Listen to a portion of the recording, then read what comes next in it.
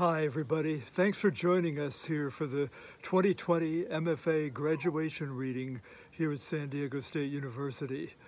My name is Stephen Paul Martin, in case some of you don't know me. I'm the co-director of the program as well as a fiction professor in the program. And over the past few years, I've had the pleasure and the privilege of working with some very gifted writers. Um, they've been inspiring to me. They've made great progress. Uh, and what we're here today to celebrate is not just that they've earned enough credits to graduate, but that they've made significant progress in confronting the supremely difficult task of mastering a literary form. Of course, this isn't the way we'd like to be doing this celebration. In the past, we've done it in places like the Scripps Cottage and the Love Library. This year, because of the pandemic, we've had to do it uh, online. And, um, you know, I don't, we don't, we'd rather be here in, for real rather than talking to each other through a series of technological representations. But we're not going to let the limits of the medium deter us from the fact that the struggle to master an art form and the level of success these writers have reached is something well worth tremendous respect. And that's what we're showing these writers tonight. Um, before we get going any further, there are all sorts of people I need to thank in, in helping make what we're doing tonight a reality. Uh, first of all, let me start with Megan Marshall, who's a very valuable member of our department and our MFA program. Uh, she runs the Living Writer series and the associated Living Writers class. And that gives our MFAs and undergraduates, for that matter, an invaluable chance to meet with uh, writers in the midst of their careers, practicing their craft and sharing it with our students. Um, I should also thank uh, the department chair, Philip Serrato. It's his first year being the chair, and he's had to confront this catastrophe, uh, the pandemic. And through all of that, he's managed to keep the department together. And uh, tremendous thanks to Philip for doing that. Uh, of course, he couldn't have done it without two excellent administrators, Kim Navarro and Katie Waltman. And we all work with them every day. We know how friendly and efficient they are. And thanks to them as well for all that they've done. Um, this year we've been very fortunate to have some excellent visiting writers in our program. Um, in fiction, April Wilder, Matt de la Pena, and in poetry, Blas Falconer. And Blas will be joining us full-time in September 2020. Um, and as for this evening, several people here that I should uh, mention have helped out tremendously. First of all, our MFA assistant, Grace Lee, who's provided us with, with the technological expertise to make this event happen. Uh, secondly, uh, our MFA administrator, Mary Garcia. Uh, here in, in the MFA program, we know that Mary is the backbone of the program. Without Mary, we'd be lost. And Mary does manages a very complex task with courtesy, grace, and friendliness. And Mary, uh, I know I'm speaking for everyone here when I thank you from the bottom of my heart for everything you do for us. And then last but not least, Sandra Alcosser, co-director of the MFA program, uh, distinguished poet in her own right, and perhaps most importantly, the founder of this program. Back in 1989, Sandra ran the bureaucratic gauntlet that was necessary to establish this program. And It is because of Sandra that we're all here today. So, uh, without further preamble, let me now introduce Sandra, and Sandra will introduce Betsy Luttrell, the first reader for the night. Sandra, it's all yours. Thank you, Stephen Paul. We all thank you for agreeing to be persuaded to co direct the program with me and for making this evening possible. In addition to Mary and Megan, Katie, Kim, and Grace, I'd like to express gratitude for our MFA professors Matt de la Blas Falconer, Corinne Goria, Harold Jaffe, and April Wilder, as well as the other faculty members of our department and all the families of our graduates whose support has made this evening possible. It's been a delight to have Betsy Luttrell as a member of the MFA community. In her full length This Woman is Haunted and Dragon in My Purse, her chapbook of mother poems, she crafts the story of a contemporary woman of a certain age who frets over her hair, her age, her weight in the midst of a demanding work and family life. Betsy has absolutely amazed me during her three years here. No matter what challenge or opportunity comes her way, teaching fiction and poetry, composition, doing an interview with Ellen Doré Watson for Poetry International, attending Poetry Week in San Miguel de Allende, Mexico, or tending to the needs and companionship of her four sons and husband, she manages to complete each task with grace and miraculously turn it in early. She's an exemplar. Her poems have appeared in Literary Mama, Little Patuxent Review, and Broad River Review, as well as Swimming with Elephants. Please welcome Betsy Littrell. Hi, thank you, Sandra, for such a wonderful introduction, and thank you for being my mentor, especially this past year. You've really helped to push me in the right direction as I've worked to finish my manuscript. Thank you to all the professors I've had over my time here getting my MFA um, Blas to you especially. I was lucky enough to have Ilya for a year, um, Hal, um, SPM, Professor Thomas. Thank you so much. Um, I really appreciate it. And now to my reading. The first one I'm going to read is part of a series. It's the first one. This one's called Morning Tea. When I woke up, my hair seemed a shade darker, perhaps to match my eyes. I remember how I threw up after eating an apple and cheese pregnant with my second son. Why didn't I update the album with the new photographs? I tossed the drooping white roses, tinged with brown and cloudy water, but I didn't have it in me to make the bed. I boiled water from my tea bag, wishing it was wine, contemplated my ghostly part, locked myself in the bathroom, and cried into my tea. I wondered if the tea would still soothe me with the salty tears. I tasted it, but I didn't know I didn't know. Unbending. Her fingers long and lean, a piano player's. She finds her hands strumming dark notes, adagio. This is who I am. The notes become wild, ferocious, without giving her body warning, vivacissimo. That is who I am. She smells blue in the air. Fingers relax, unbending. For some reason. I told people I was born in a gas station, the one where pump number three is always broken. My eyes are the color of the Wrigley spearmint gum package found in aisle number two, and also by the cash register. I like being 39, but I don't know if I want to be 40. Maybe I'll drink a bottle of wine in the rain instead. I remember eating popsicles in my flower jumper. You, you wanted red, a green, a green so green, sour like limes was my favorite. Those days, I made mud pies while watching Robin wash her car after a downpour. I wove a crown of daisies, dirty after rolling down the hill. I think I'll braid another crown before I go to see if pump number three works today.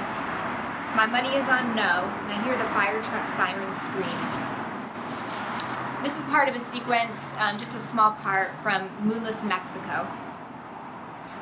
And when he slapped her, choked her, she screamed, but not loud enough. She clawed back, but not strong enough. She was succumbing, breath by breath by unbreathed breath. A woman from the adjoining room pounded.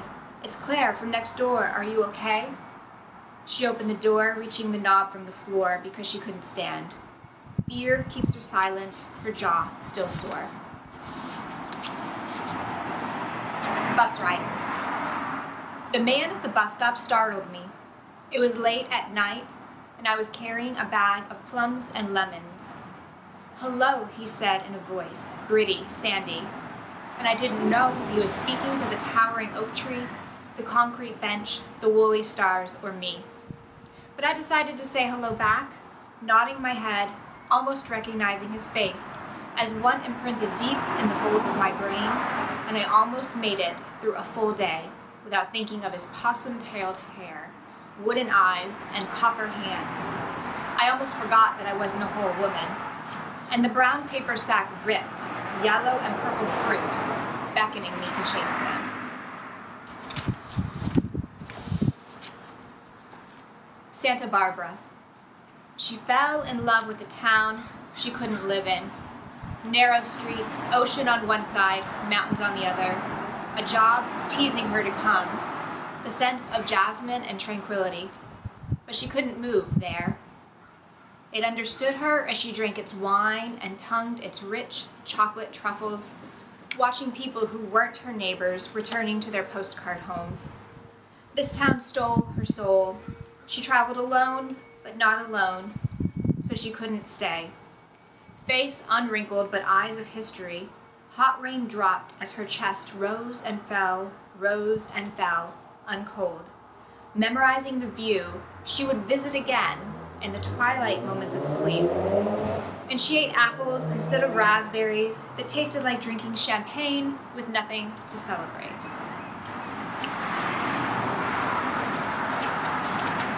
Swallow. I love looked like diamonds branded on my back by the cold metal balcony of a fire escape, or that it smelled like vomit and Bud Light, or that it sounded like the word no, two letters invisible in the winter sky. Maybe love is lines on liquor bottles that don't stop me from drinking. I curl my hand around a bottle of Merlot and swallow, while a priest sprays holy water in another city. He sips communion, light shining through stained glass windows. Paralyzed. After he left, she lost the use of her feet, her legs, as if her broken heart spread down to her limbs. So she carried her dead weight around, crawling. She wore the belted pink dress the one which made his head turn and pushed her dark hair back so it wouldn't fall in her eyes. Creeping through the field of starving grass between the farmhouses, she dragged herself until she could see his porch under the gray sky.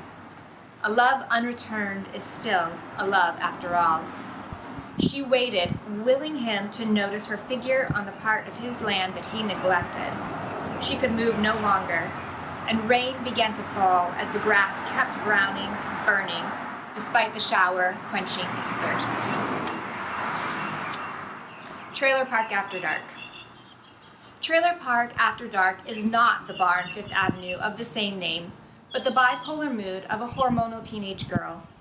At 15, I pounded my fists and legs on the ground until the tears started to flow. That was the year I first took a drink. The first time was with Kim, who bribed a man to buy us Ice House and Zima at a convenience store.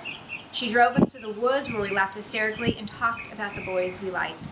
We pissed all over the pine cones, dirt, and weeds. Somehow, we made it back to the trailer she lived in. I was thirsty. I mean, sand in my throat thirsty.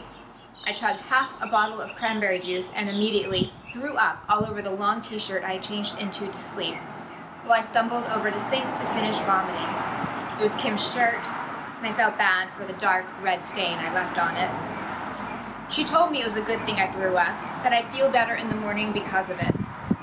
I met my parents in church the next morning, hungover, but holding it together. God judged me while I sang, cranberry vomit still on my breath. Sunset. The scent of blown out birthday candles swoons over the city. As I walk through the honeyed streets alone in an oversized sweater, I become lost in your life, how you use tomorrow as an excuse, how you age differently than me, how you must be replanted every spring, and how I die to the ground at the end of every season.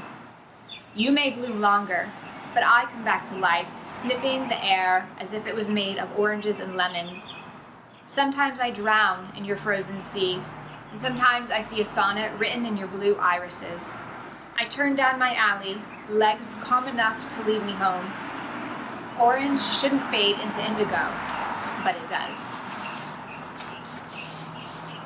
Memory by Scent. Sitting under a pine tree in the grass, my son plays with a plastic sphere, trying to move a tiny steel ball through a maze his tongue out as he concentrates. A daughter pushes her mother in a wheelchair next to the park, and they both smile at us, the same smile, from the same face, one with deeper wrinkles and wiser eyes. I wonder if the mother is from the memory care center across the street and if a twilight walk is their evening routine. Their smiles tell me the story of why the nursing home was built next to a place filled with the cracks of baseball bats and children's shrieks when they are caught playing tag. I start to count my son's eyelashes, and I name all five freckles on the right side of his face. Without warning, the lone pine smells like an entire forest. Crosswalk.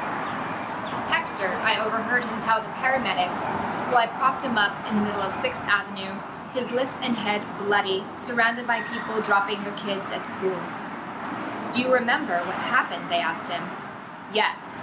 He told them he was in the street holding up his stop sign, wearing his orange safety vest, when the teenagers hit him with their car. This was a man I brought chocolate chip cookies to once or twice a year and said thank you or have a nice day after he helped my sons and I through the intersection. This man with his kind smile, missing a few teeth, weathered skin, eyes shaped like peaches, I knew him just enough to call him my favorite crossing guard, but I never thought to ask his name. Backwash. He walked slowly in the middle of painted lines on a four lane road, palms facing down, fingers fanned, dirty blonde hair days away from being dreads, scraggly beard a shade darker, open flannel shirt, bird chest that looked finely plucked, near, near a yellow drive-through taco shop with red lettering advertising their quesadillas and burritos. And he was probably the lead singer in a ska band, or maybe a surfer. The air smelled like industrial glue or paint as light fell out of the sky, and I wonder if he could taste my salted bitterness and spice as I continued driving to soccer practice, seatbelt tightly buckled. The Power of the Dragon. I found a dragon in my purse, wrinkled. I wasn't sure if it was stuck at the bottom of my black and white bag for weeks or months. Sharp teeth, strong wings, scales all down its back, erasure marks inside the legs, horns, and tail. And I imagine my son trying to perfect each detail. I can feel his nine year old arms wrap around me as I study this art and I clutched his drawing to my chest as I somersaulted across the wooden floor. Don't send me flowers. He surprised me with 17 red roses, my first flowers, and all I could think about was the cider beer on his breath. I kissed him, drunk on his spit, and I hung the thorny stems upside down on the wall, draped over thumbtacks, scarlet with crinkled brown edges. Weighing myself on his mother's bathroom scale, I was pleased when the needle settled on 95. I starved myself for him. The next time I was 20, the white roses matching the uniform he wore the day he was commissioned in the Navy, chest bare of medals, just a black name tag and a golden anchor on his hat. Tightly curled blossoms opened in a vase by the window, petals falling before I could preserve them. A decade later, my dad died and I was pregnant with sadness and baby number three. The lilies, cocky with their star shaped petals and yellow tinged centers wildly exposed, scratched my throat. And all I could think about was how I went from sitting on daddy's lap in his beat up beige La-Z-Boy to sitting in the funeral home, unable to cry. If I close my eyes, I can still smell mahogany mixed with gladiolas and the picture of the plaque on his grave. March 19, 2003. Seven pound dark haired baby nursing from my breast, half drinking, half dreaming. Well, I wonder if his dad will ever hold him. Orange and red raindrops fall from the sky as I sit, not blinking, in my brown chair. My husband presses a red button with his thumb from the back seat of his jet, releases a missile that kills an enemy or a child. The distance from the cloud to the ground, too great to know it's ablaze. Is that fireball heading for his plane? I try to breathe, but the air won't leave my lungs. The two of us, new mother, sleepy baby, bonded to this brown chair, watching the world burn. I think this is my last one for you. Yep, butterfly in the window. Every day I hold my breath. In the windowsill, a stained glass butterfly catching light. Made by my son in a second grade classroom, it looks different every time I wash dishes. Sometimes the red is garnet, other times pink. The yellow spreads on the white wall, and late in the day it shrinks. Like washing wool in hot water, I wither a little each August. He grows up to my nose, and I blink, and he's a whole head above me. At the light of the day, he takes flight, undeclared major, unexplored town. Still, I see freckles on his face, a stray hair out of place, and eyes reflecting the light of a butterfly. Thank you very much.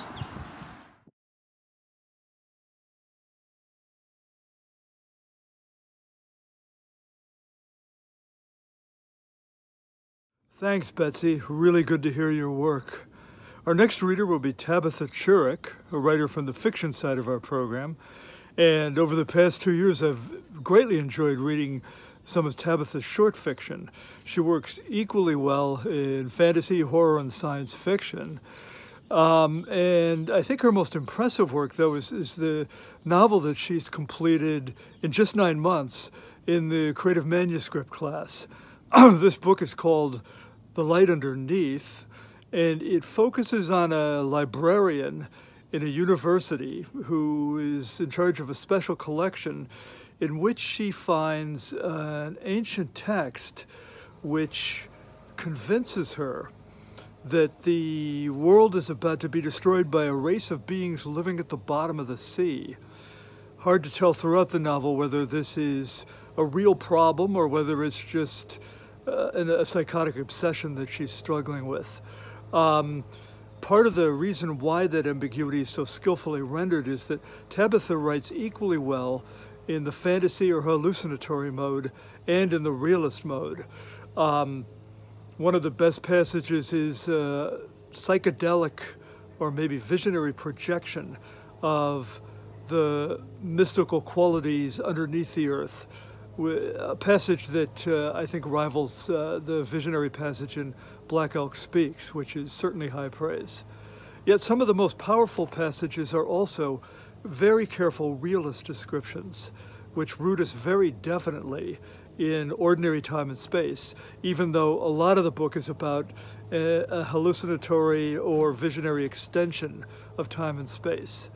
Um, so Tabitha will be reading tonight from the light underneath. And in particular, she'll be reading a passage in which the librarian, having been seriously tormented and driven to the edge of sanity, is staying with a friend, and this friend allows her to uh, enter a computer game in which uh, the horrors that the narrator is trying to escape are replicated in the virtual world of the video game, or computer game rather.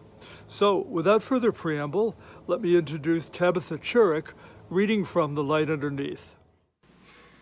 Um, hi, thank you, Professor Stephen Paul Martin, for that introduction.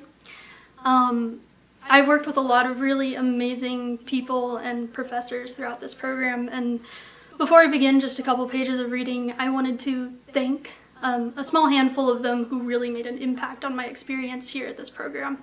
Um, obviously, SPM, Stephen Paul Martin. Um, thank you so much for your feedback on not only my manuscript, but also my short stories throughout the entire stay in this program. It's been absolutely invaluable. Um, thank you also, Professor Katie Farris, um, who's sadly no longer with us, but still made my first year absolutely phenomenal. Professors April Wilder and Dr. Angel Matos as well. Um, thank you guys very much for all the inspiration, motivation, and mentorship you've given me over the past three years. Um, also, huge shout out to Mary Garcia. Um, without you, we would be lost in the dark. Um, you touched all of our lives several times, um, not just mine, but um, my cohort as well, uh, and made things very bearable um, throughout our stay. So, thank you very much. Um, without further ado, I'm going to start reading uh, just a couple pages from my culminating project, um, currently titled, working title, so it goes, um, titled The Light Underneath. I awakened as this avatar of myself, where I had left off last time, in a downtown penthouse, my home, where I lived with a number of eccentric characters. I passed the bulletin board where I turned in each day's completed quests, grabbing none of the new items highlighted with levitating golden exclamation marks, and instead descended via the private elevator to the ground floor. It was nighttime, and as I stepped outside the glass automatic doors of the complex, the cool sea breeze jostled nearby palm trees with a rattling tempo. Streetlights reflected off the pavement, newly damp from a downpour, but just as in Soulhaven, the clouds had already cleared. Pinpricks of cosmic light burst through the black sheet of evening. There was no moon. The streets themselves were unusually void of cars and late night passers by. Labyrinthine roadways stretched right and left, crossing other avenues every few hundred feet, with not a sign of life from any of them. In this stillness I could hear the crashing waves and howling winds of the beach a few blocks west. I followed these sounds, moving slowly over the damp sidewalks and glittering black tops of unused streets. There was something tranquil about my progression forward something almost ordained about the lack of man made sounds amid the man made buildings.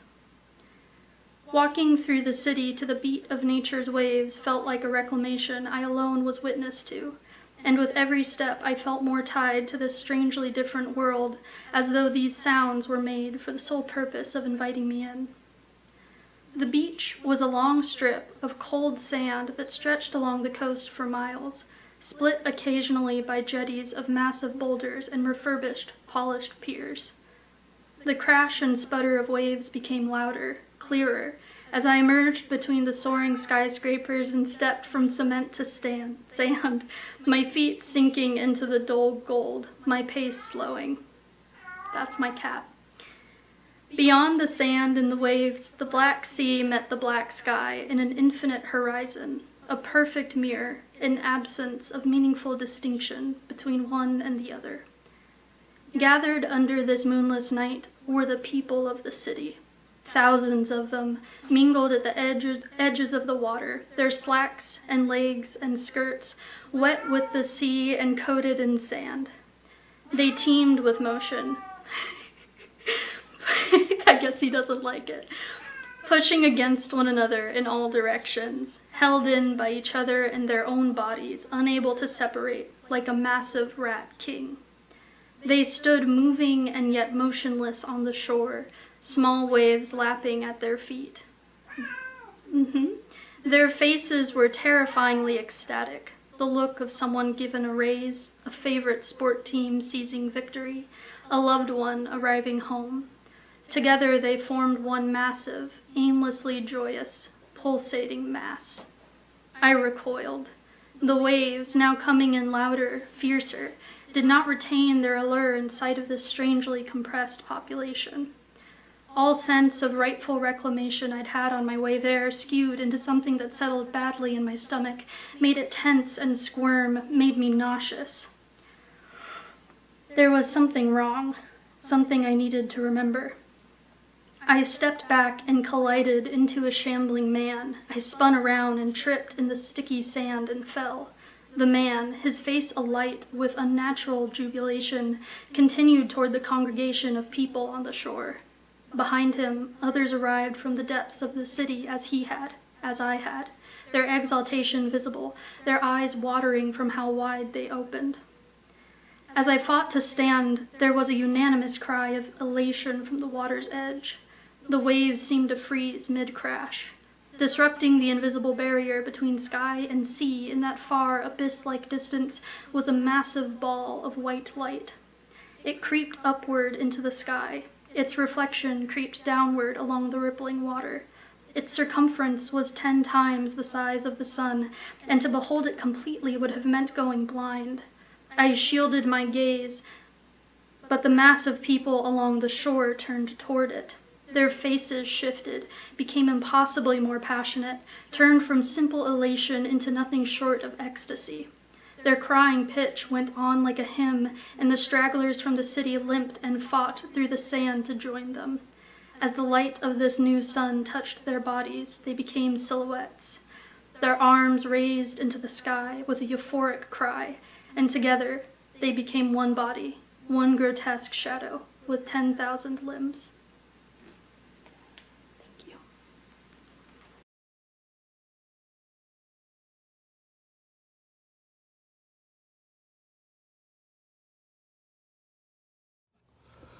Thanks for the great reading, Tabitha. Our next reader for tonight will be another member of our MFA fiction program, Crystal Galvis. Crystal was in my undergraduate Techniques of the Short Story class, and I urged her to apply for our MFA, which she did. I've been reading her work for the past three years. Crystal works very effectively in uh, horror, fantasy, sci fi genres. And uh, so I wasn't surprised for her third year uh, to see her generate a novel using elements of all three of those genres. Um, Crystal's novel, which is called Magical, is set on the US Mexican border. It was inspired to some extent by the atrocities being engineered by our current presidential regime. Uh, the novel involves uh, the struggle of a couple in their late teens. Um, one of them, the, the male character Damian, has been hired by the female character Jasmine to smuggle her across the border.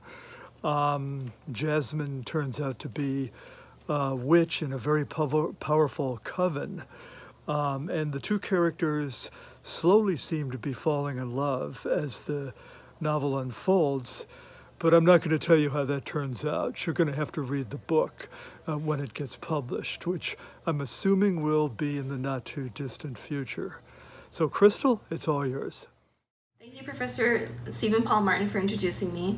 I will be reading a segment from my manuscript that's a clear connection with our current detention center situation as well as human trafficking, but my manuscript is focused on a modern fantasy setting. The bus stopped once more at a station, and Damian told Jasmine that they needed to get off. He had to pick something up from someone before they crossed. Jasmine gripped the back of his shirt as they passed through people to get off the bus. But her grip stayed. There was a large crowd outside with tents and stores around, people walking in and out. Warm bodies pressed in, bumped into, shoved against. Overwhelming smells of perfumes, over applied yet expensive cologne, body odor that mixed with the delicious smell of carne asada tacos. It's what she expected in the city of Tijuana crowded, lively, loud, and colorful. I need you to wait here. Damian pulled her inside of a clothing stand. Stay here, pretend you're looking around. Let's stay for five minutes. Eight tops. Jasmine watched as he disappeared within the crowd. She huffed and walked around the store, her fingers ghostly touching the fabrics. Mama, why are they throwing food at that man? A little girl called out. Jasmine could hear the rowdy laughter and curses coming from outside.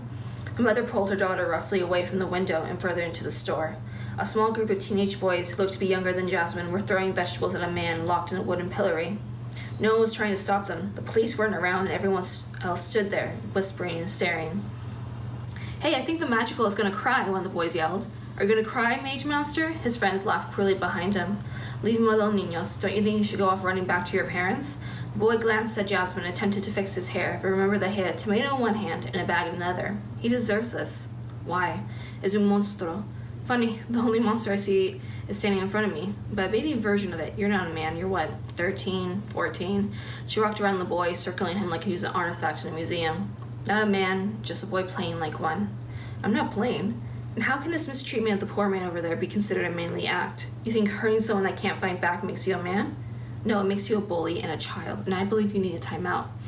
Jasmine snapped the bag out of his hands and snatched his ear. The boy cried out painfully at the tugging, but she didn't care. She leaned in and whispered, That pain you feel now is nothing compared to the pain that you inflicted on that man over there. Magicals protect their own, and we don't appreciate bullies. The teen's eyes widened, but before he could say anything else, Jasmine threw him to a circle of buddies. He looked back. Jasmine held a finger to her lips and winked. The teen screamed and ran with his buddies running after him with questions.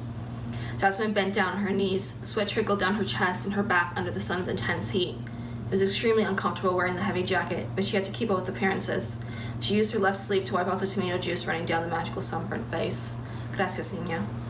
She paused in her ministrations. There was bruising on his cheek and a small mixture of blood combined with the tomato. Someone must have thrown a rock earlier. The, the man wasn't only trapped by the pillory, There were shackles around his ankles as well. Who would do such a monstrous thing to you? La Policia. I forged our paperwork to cross the border. But they found something that I didn't, and this is my punishment. While my wife and child are trapped in their own prison. Where are they? The magical pointed his finger and Jasmine turned. A long chain linked fence with barbed wire loops circled a two story warehouse. There was a two and a half foot distance between the fence and the warehouse. Small children played outside. Some were laughing as they kicked the soccer ball, trash cans, and skulls. Women stayed in the shade, breastfeeding their babies. Others were washing and hanging their clothes, and the rest stood in the front of the fence, their fingers curled on the gates with solemn expressions. This is what her abuelitos feared. This isn't what they want the grandchildren to witness or live through. Living in segregation was one thing, but this. Detention centers, or temporary shelters, that's what the humans call them, he said. It's inhumane. No one has gotten out, but more of us have been put in. How do, how do I get you out of this thing? No, no, no, he whispered fearfully. You'll be thrown in there as well. Por favor, if you can tell my wife, Maria, that I love her and to continue staying strong. She's the one with the purple and orange head wrap. This woman was staring at them with puffy red eyes and clenched the fence like it was her lifeline. I'll tell her. Security guards were, er, were around every corner, carefully keeping an eye on the humans that decided to talk to the magical women. Some were praying along with them, holding fingers and holding their beads. Others were sneakily handing, handing small pieces of food and small water bottles. The closer Jasmine got, the more she saw how skinny some of the women and children were. No wonder humans were sneaking food in. It looked like they hadn't eaten a two or three course meals in days. Days. Maria called out. Jasmine called out. The woman reached her small hand out to her, and Jasmine immediately entwined their, their fingers. She too had a cuff on. Your husband, he wants me to tell you that he loves you and to stay strong. Estoy tratando, Maria wept, pero estoy muy cansada. Entiendo, but you have to keep fighting. You will get out of here one day. Maria shook her head, tears falling on their, on their intertwined hands. We left Guatemala because they wanted to use us as weapons. We are simple witches. I could cast protection spells, but it's not enough with the fighting, the drugs, and all that violence in our neighborhood. Our son was scared to fall asleep at night because of the guns. You thought it would be easier to live in the US. We came to seek asylum away from that. And then we heard rumors about having the right paperwork. I should have listened to my gut and told mi esposo that he shouldn't lie. We would just have to trust our instincts, instincts, and I didn't trust mine. You left your home to give your son a chance of happiness and safety. You were scared, and it's okay to feel like that. They're going to kill my husband. Maria's sobs interrupted Jasmine's turmoil, and she looked to see a brave person helping her husband by pouring water down his throat. Then she realized it was Damian kneeling in the dirt, pouring water in a plastic cup from his water bottle. He even wiped the magical's face with a napkin. No, they won't. The police only want to display him like this to warn other magicals to not cross the border, and soon they will put him with the, with the other men in their detention center. Jasmine tried to reassure her, but the way Maria tightened her grip and sobbed uncontrollably, it wasn't working. Who knew how many days he'd been put out there as spectacle? How many days had Maria had to watch him from afar with a child? How many days had they watched people throw rocks and tomatoes at him?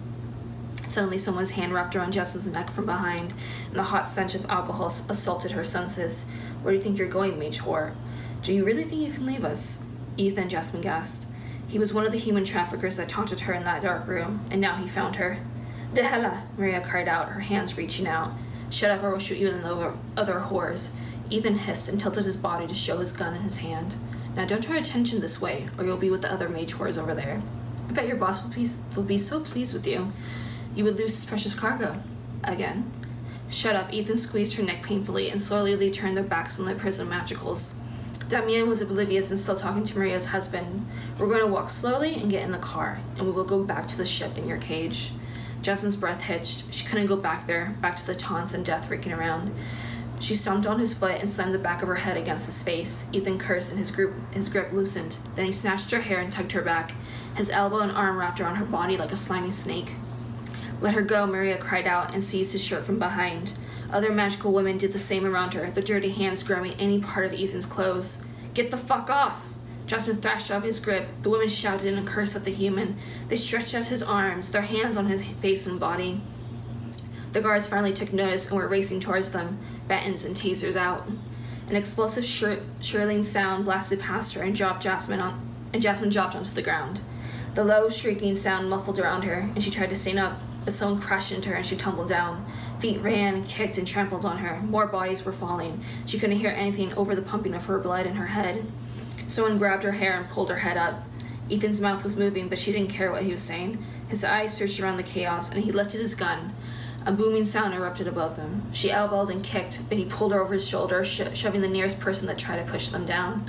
Jasmine slapped and pounded Ethan's back until he threw onto the floor in a clothing store. You cost a lot more than I thought, Bruja. Boss didn't tell us the truth until you escaped. Who would have thought how important you would be to him? Suddenly, he pulled out his gun in another direction. Someone squeaked behind the counter. A woman popped her head out along with other workers with their hands raised up. No, Jasmine got between him and the workers. You caused the man- madness that's happening out there. They're here because you, they work in this store you wa- and want to be safe from the danger outside. May- Maybe if you haven't run away, this wouldn't have happened. How many people are going to die because of Jasmine Morales intervening? Shut up. Wherever you go, death follows. I wonder, did it follow you before or after the massacre of your own coven? Cállate la puta boca. Death stalks you, Bruja. Or maybe it's been stalking you. Damian stood behind Ethan with his gun directed at the back of his neck. Put the gun down or I'll blow your brains out. Not in the front of the witnesses, I bet. Get out of here. But the workers stared wide-eyed at him. Go, leave. That got them got them to scurry out of their hiding spot and out the door. Drop the gun now. You don't know what you're doing, boy. You're making a huge mistake. Ethan slowly placed the gun down. Grab his gun. Ethan stared at her down on his knees and his hands behind his head. Jasmine grabbed the weapon. She clutched it and then pointed at his face. What are you doing? snapped Damian. He's the reason Aline is dead. But is it? Ethan smirked. I mean, I wasn't with her on the deck. You were. Why didn't you stop her? Why didn't you save her? Jasmine's vision blurred. Her ear was still hurting. Her body had most likely received new bruises from the human stampede, and she hadn't slept in 24 hours. She was not in the mood to be tested. Why didn't you save her, Bruja? Don't do it, Jasmine. Look at me. Look at me. Damian pleaded. But why was he pleading with her? This man was scum. This man tried to rape her friend and sold thousands of magicals and human girls alike. You're not a killer. You don't know me at all. Jasmine didn't even feel her finger press the trigger, but watched as Ethan flinched back with the red blossom on his shoulder. You fucking. Damian smacked the back of his head with his gun and both watched him collapse. Damian's eyes found hers. You didn't kill him. You sound surprised. Jasmine kicked the fallen body. She kicked and kicked and kicked. Okay, okay, okay. I think he got the message. Damian pulled her away. She staggered backwards. Her mind was swirling and her heart pounded loudly, echoing in her ear. Jasmine? She swayed and closed her eyes, unable to fight against the darkness any longer. Jasmine! Funny, that was the third time Damian had actually called her by her name.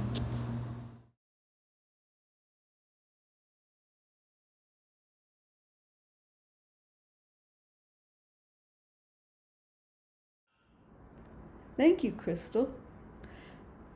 Ron Lauterbach came to writing in the middle of his life, starting with a few articles in San Diego newspapers, continuing with a BA in English literature. He taught high school English and journalism before he retired in 2010. Encouraged by fellow writers, he entered the MFA poetry program at SDSU and bravely signed up for trial by fire by taking the capstone manuscript workshop, which caused him to grow three years in one semester. His work has appeared in the OB Beacon, the San Diego Union Tribune, the Julian News, the Christian Science Monitor, Reader's Digest, and Your Daily Poem.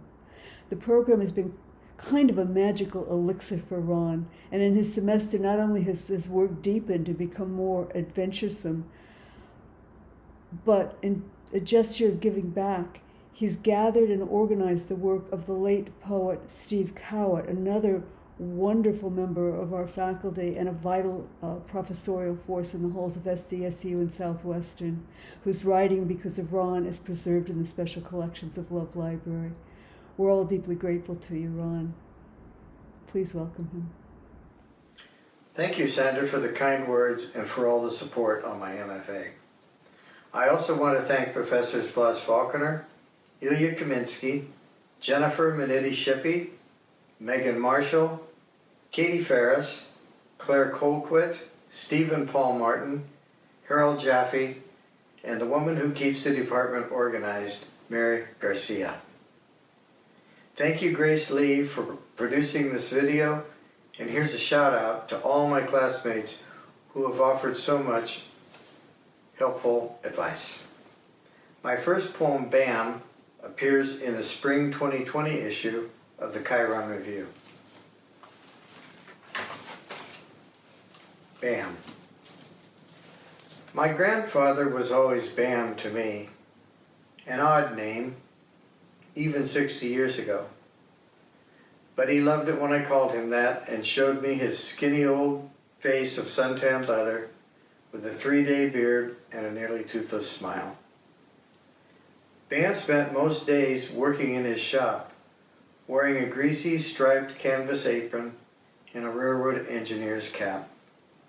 He beat red-hot steel on his pony-sized anvil, creating a clang heard all over the block, then thrust the hot metal into water that hissed like a steam engine.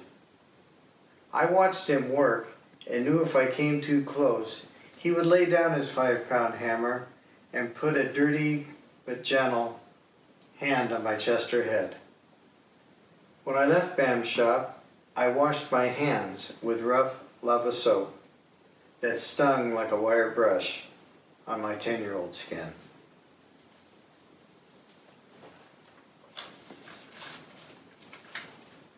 Bounty hunters. The last part the squirrel can move is its tail. It twists like a pinwheel, its upper body shot away. My ears ring from the shell's explosion, and my 10-year-old cheeks tingle with pride. Your hard worker's hand pounds my shoulder as if I am a man. Half a cheese sandwich sits on the Sears seat covers in blue gingham bread loaf wrap. The hot rifle barrel rests on the car window frame, whose enamel gave up years ago to your honest sweat. It's the same frame you rest your bony arm on as you drive me to get ice cream or fly kites. I imagine myself in a story you will tell sometime around a campfire. When you stop hitting my arm, the squirrel's tail stops. Like one thing has something to do with the other.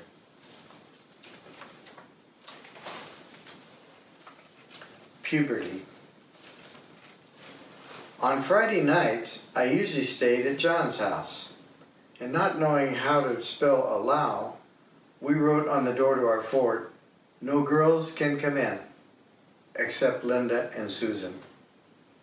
We competed with each other to see which one of us could put the most wire coat hangers on his newfound erection that suddenly poked out of our Roy Rogers pajamas, until we tired of it and went outside to dig up the now decomposed perch we buried to fertilize our watermelon plant.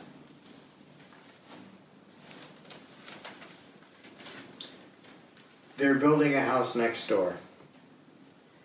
Clay tiles on weathered rafters, weeks after delivery, look weary. Like the plumber's countenance as he carries out a shiny sink, the wrong model, and drops it into his truck bed. His truck needs tires. He might be waiting for a bargain, or it could be news from his oncologist. I see two electricians wander the job, eat their lunch, laugh a lot, and leave. A concrete finishing crew works fast because two guys didn't show up on this hot day and the mud doesn't care. Their boss jabs his finger into the chest of some guy who's holding a big bucket of paint. And I think about Jim Rhodes, the meanest foreman I've ever known, who years ago had me in tears before draping his arms around my shoulders and saying, Don't worry, kid. This place may get built in spite of us.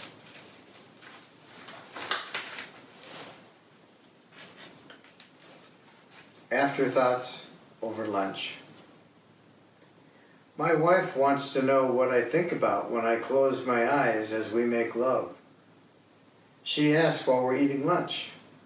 I take a bite off a fat dill pickle and she laughs as I stammer. Sour juice drips down my chin onto sardines we bought on our honeymoon to Portugal last year. I focus on the neon yellow and red tin with the old style key that curls up the lid as you roll it back. I watch the oil ooze inside the coil cover and comment on how rare it is to find containers like this. My wife's raised eyebrow shows her question is unanswered. I imagine silver sardines bumping green noses against a nylon net.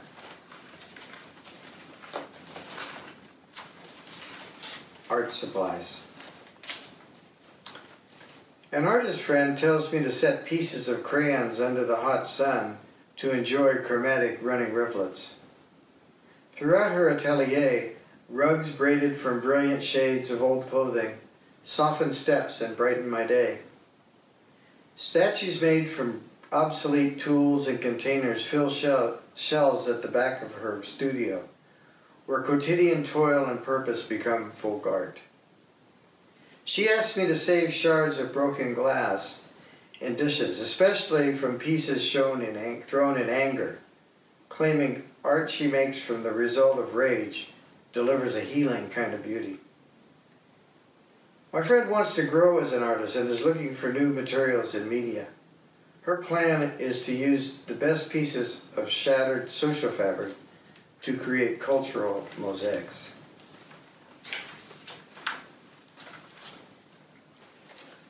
Leon's Oyster Shop, Charleston.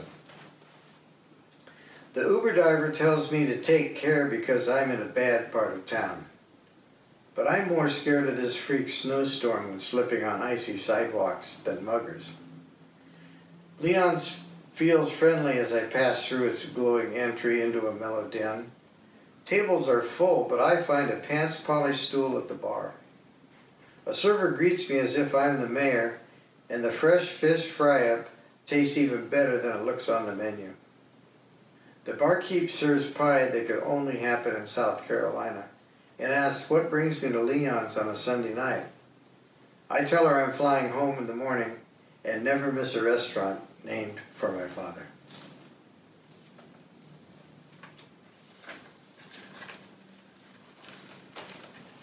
It must have been a big ass bird. It's a mystery what kind of bird knocked power out in eastern San Diego last November. Food thawed in freezers and cell phones died. People had to talk to and look each other in the eye. With no traffic lights, there were car crashes until drivers relearned to take turns. Professional baseball ended and football started. Millions of turkeys began their sad journeys to American dining room tables. There was a solar eclipse, and three more people signed up to run for president. After dark, there was looting all over, and tags lit up with headlights and flashlights. Boundaries changed, and one guy died. Look for a birth spike in August.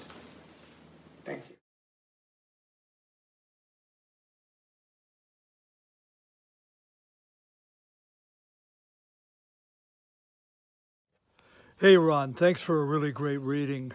Our next reader for tonight is Jamie Aurelio, a member of the fiction side of our MFA program. And I've been reading Jamie's work with a lot of admiration for the past three years, um, and I'm especially impressed by this new novel called Lifelike, which she's produced in her third year here. Uh, again, like Tabitha and Crystal, she started from scratch in September, and now it's May, and she's got a completed novel. So, what we're looking at here is a disciplined, highly motivated writer who worked week by week, producing chapter after chapter, and here the book is. Inspiration is at least 90% perspiration. Jamie certainly shows that in her work. Um, the work itself focuses on a young adult protagonist named Nydia, who at the last minute is admitted into a prestigious arts academy. Um, and this academy isn't just an ordinary academy, it's magical, mysterious, maybe even slightly menacing in ways that uh, is trying to discover as the novel unfolds. And brilliantly enough, uh, uh, search for what this academy really is uh, parallels her search for what she really is as an artist. And that kind of combination makes reading this a really brilliant process. Uh, Jamie's prose, just like it was in her shorter works, is sparse, direct, elegant, at times magical, filled with brilliant figures of speech. And uh, really pleased with the way Jamie's work has turned out. So, without further preamble, let me introduce Jamie Aurelio reading from her novel Lifelike. Jamie, it's all yours. Thank you, Professor Martin, for both the kind introduction and for all the support and guidance you've given me during this whole novel writing process. I'd also like to thank Katie Farris and Matt De La Pena for their irreplaceable writing tips and for their inspiration in general. I should also thank my husband Jeff for not letting me quit or fall apart during this whole journey. Just a couple things I should mention before I start. Mrs. Timms is the mentor who helped Nydia get accepted into the program, the um, academy, and Leon, who is mentioned briefly, is a painting student whom she met earlier. Hope you all enjoy a little taste of life like. Mrs. Timms once again brought a book for the subway ride to Arja Academy, but Nydia had other plans for her. She had a hundred questions, but was only able to ask a few during their commute. Mrs. Timms answered her questions patiently, but in a vague way that irked Nydia. Yes, she could use her cell phone, but there was no reception or internet on the island. They didn't get internet because there was some energy on the island that interfered with it. Nydia asked about all the different departments, specifically about the special gifts and abilities each one was given upon their acceptance into the program. That information was included in your packet, young lady, Mrs. Timms scolded her. She obliged Nydia, however, and explained each department to her.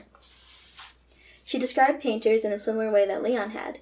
They could predict the future through a series of paintings, but only vaguely. Details were fuzzy, and the more one had mastered the art of painting, the more details one could predict about certain outcomes. Nydia thought about the painting club president Leon and how mature and observant he seemed. The gift suited him. Fashion designers were given the ability to make special garments that enhanced the performance of people during certain activities. One student was currently perfecting a garment that made the wearer run faster. Another was working on a sweater that was supposed to lessen the symptoms associated with anxiety.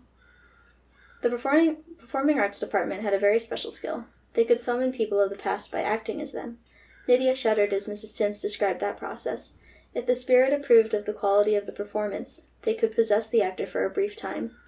Nydia didn't care how brief it was. The prospect sounded horrific. The culinary department was similar to the fashion designers in that they created enhancement products. The difference between the two was that the culinary department specialized in temporary physical changes. Baked goods altered weight as well as height.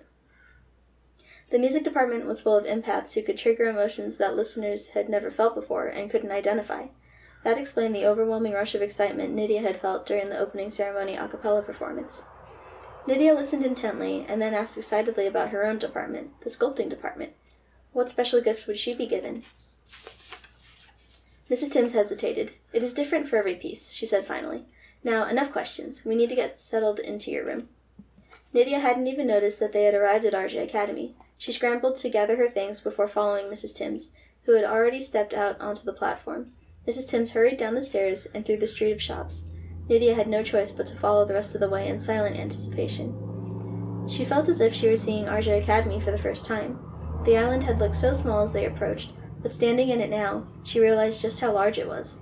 Vibrant buildings went as far as she could see. Nydia distracted herself from her anxieties by mentally identifying the colors around her. She noticed with immense satisfaction that all the colors of the little shops, larger classroom buildings, and the paved walkways were complementary. There were so many different shades, but without being tacky. This courtyard is said to have the most natural source of raw energy flowing through it. If you pause and take a deep breath, you'll probably feel it, even if you're a new student. She stopped walking and inhaled deeply with her eyes closed. She gestured for Nydia to do the same. Nydia did so hesitantly, but realized she did feel something, almost like an expansive warmth flowing through her body. The feeling went away almost as quickly as it had come. Mrs. Timms laughed at the strange face Nydia must have made. It's a little shocking the first time, but you'll come to crave the feeling the longer you are here.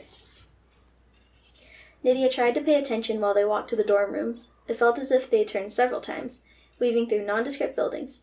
Nydia tried to keep track of landmarks in order to find her way back, but gave up after the fifth or sixth turn down a general walkway, which was lined with trees and exotic looking gardens.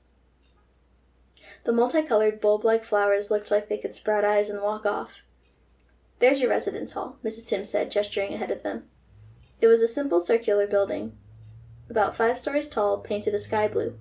Each room had a balcony. Many of them had plants and easels set out on them.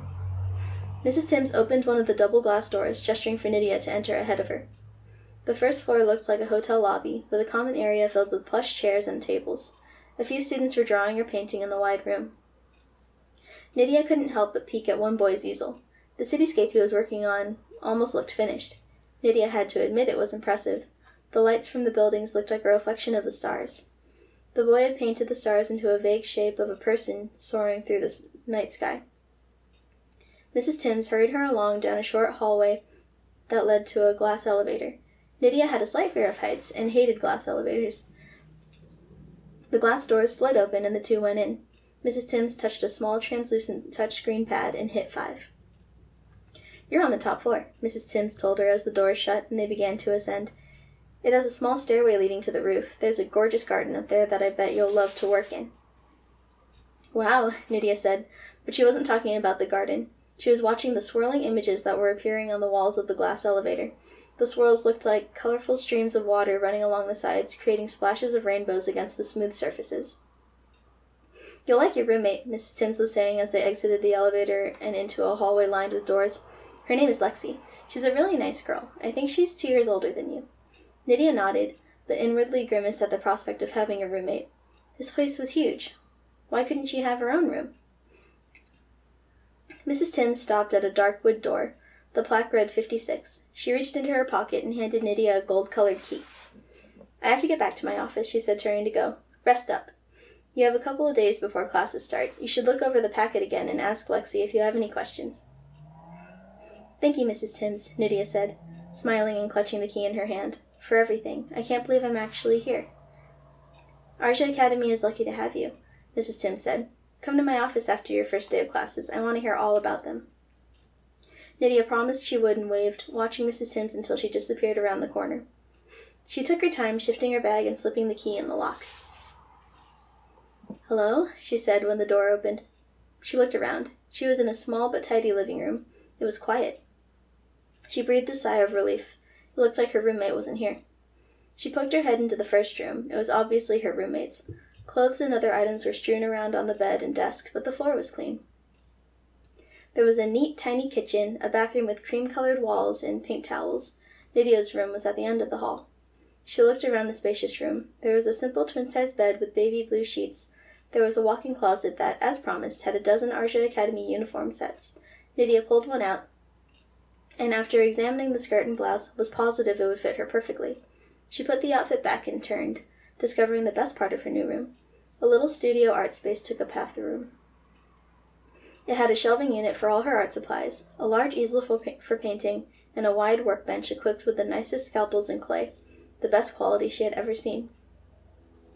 She moved around the room like a child, looking through all the art supplies with a growing excitement that was getting harder and harder to contain. She was so excited by her fully furnished home that she almost didn't realize what sat in the very center of her room. She stepped closer and realized it was the wooden base of her sculpture. And her sculpture was gone.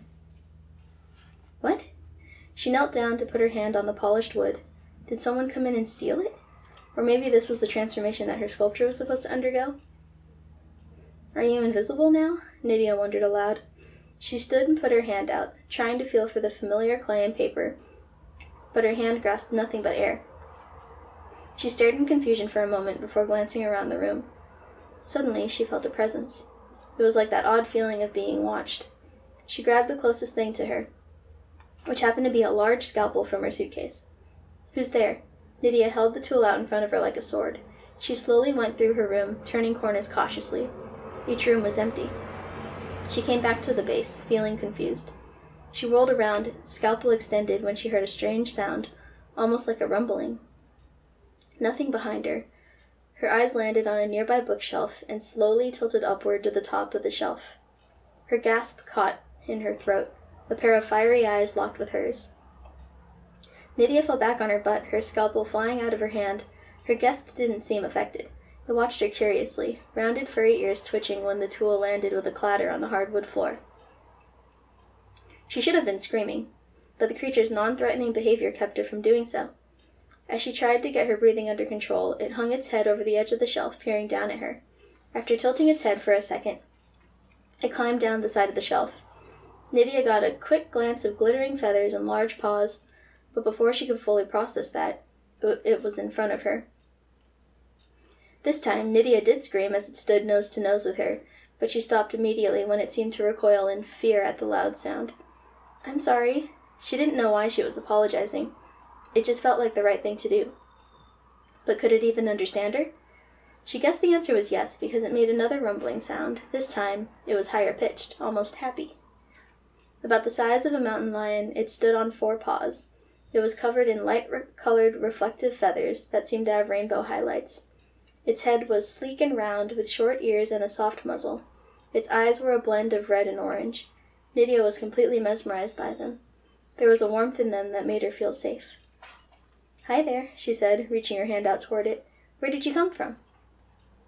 It rumbled again before darting away from her.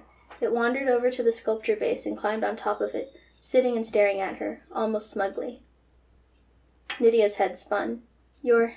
She breathed, air getting caught in her throat. She tried again. You're my. In answer, it pawed at the air. Nydia stood and wandered to it and grabbed its paw, feeling faint when she saw her initials on the bottom of the soft appendage. Oh my god. Nydia dropped the paw before falling to her knees on the hardwood floor. Her knees hit the ground hard, but her whole body felt numb. She stared at the ground, not really seeing the wood patterns her eyes were now trained on.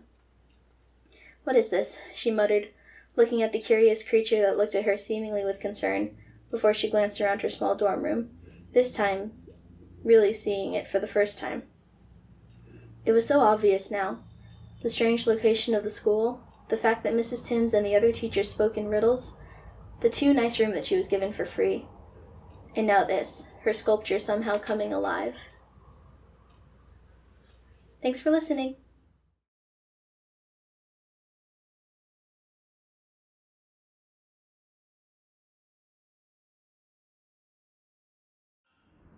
Thank you, Jamie.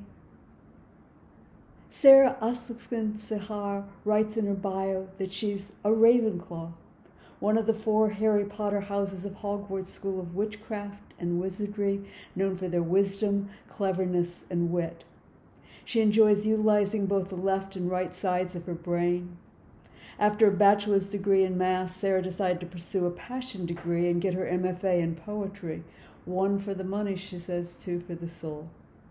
Sarah began writing haiku in second grade and hasn't stopped writing a wide variety of poems since, now utilizing poetry as a way to process her life and consider the world in new ways.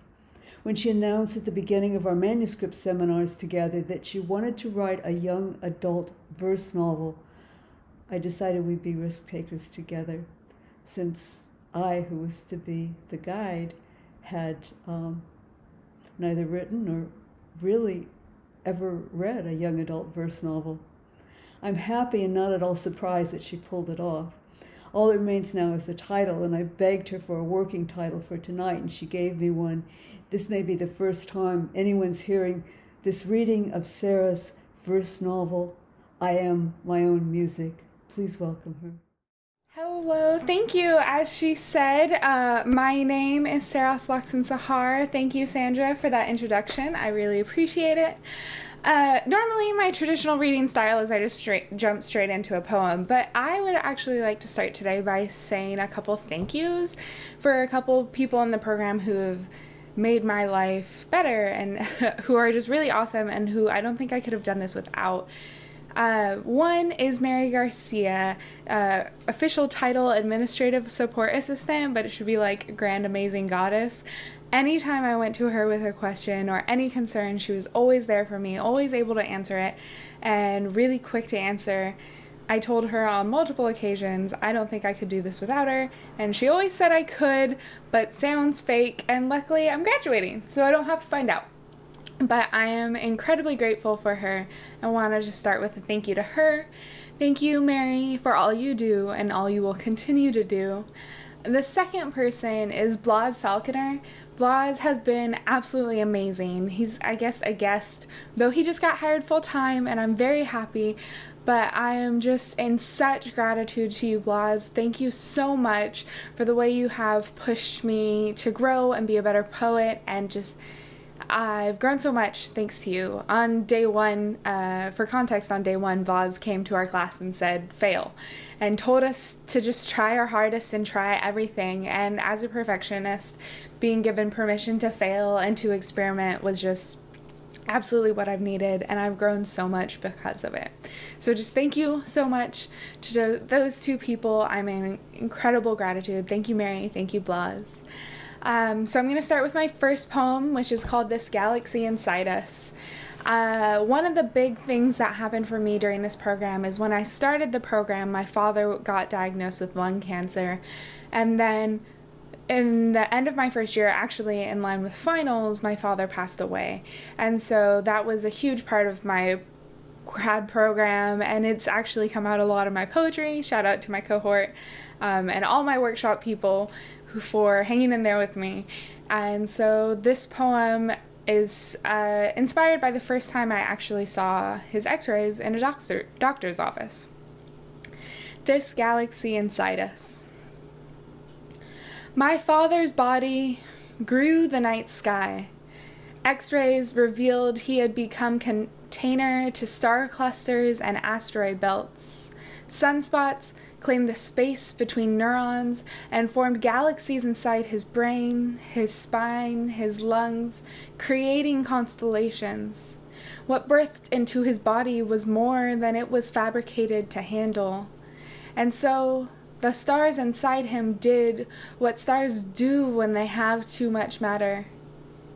Now I'm left fearing the sun, Today, my doctor called, revealed an abnormality. I think about implosion and fret about galaxies growing faithfully inside me.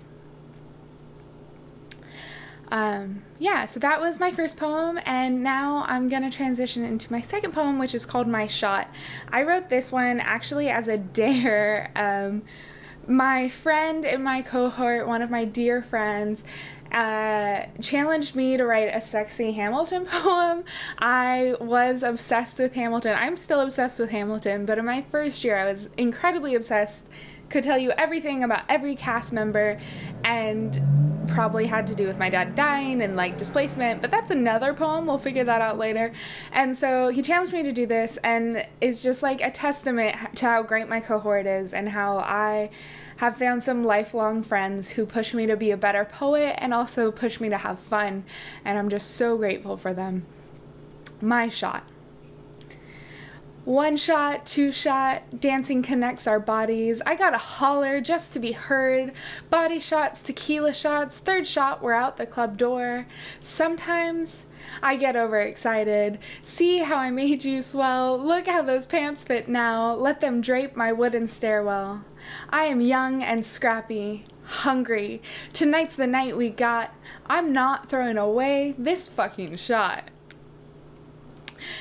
Um, so yeah, we bet. I, I don't think I said, but we bet coffee for that, and we know how grad students are. Like we need our coffee, um, and I brought it to workshop and workshopped it with Ilya Kaminsky as well as my whole class, and I just shout out to my class because they took it really well. Um, the last thing I'm going to read today is an excerpt from my manuscript. Traditional poetry manuscript is 60 pages that you've probably started working on in your first year and you collect it all to a book. And I was like, uh, so what if I wrote a novel in verse? Can I do that? Is that okay?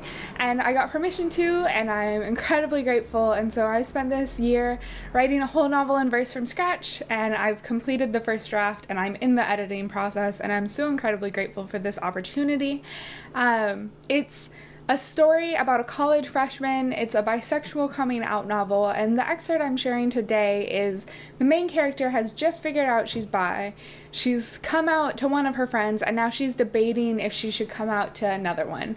Her friend um, that she's talking to right now, she's in the car with him. He's driving her to the airport, and she's just having an internal debate. In the car ride, I debate.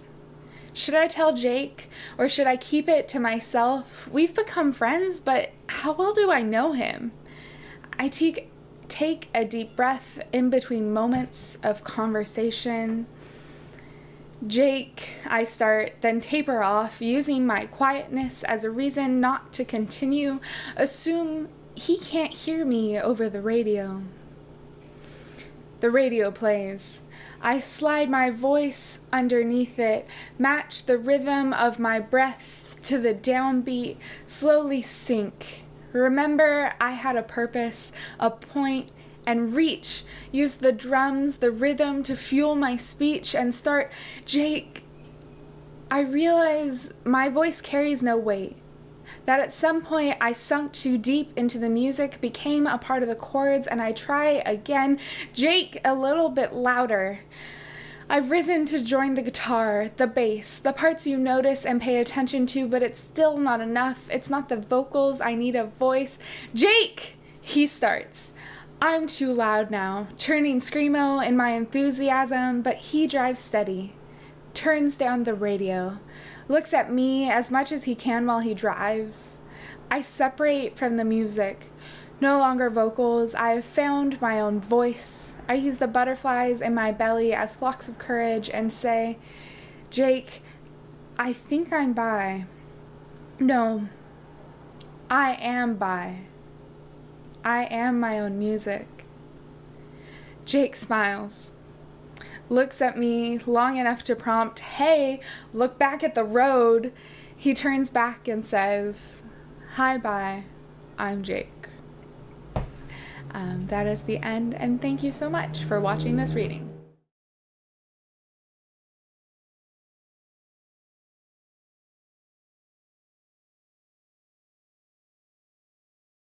Hey, Sarah. Thanks for a great reading. Uh, our next reader for tonight will be Kurt Krober from the fiction side of the program. Uh, many of you know Kurt was the editor of Fiction International over the past year.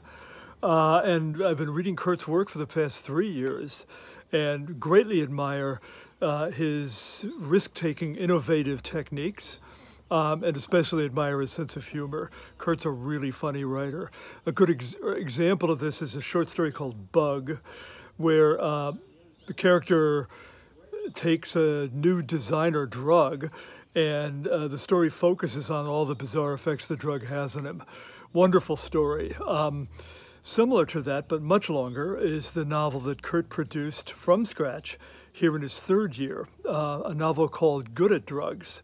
Um, focused on a character who is attending a house music festival in the high desert uh, four day process. So the novel takes place in four parts. And the narrator, um, first of all, defines what it means to be good at drugs and then shows that he's both good at drugs and not so good at drugs in many hilarious and brilliantly hallucinatory episodes. Um, Kurt is extremely good at describing altered states and humorous states, and his narrator is relentlessly interesting and amusing to listen to. So, Good at Drugs by Kurt Krober. Kurt's going to treat us to a segment of that right now. Kurt, it's all yours. Thank you to SPM for that amazing introduction.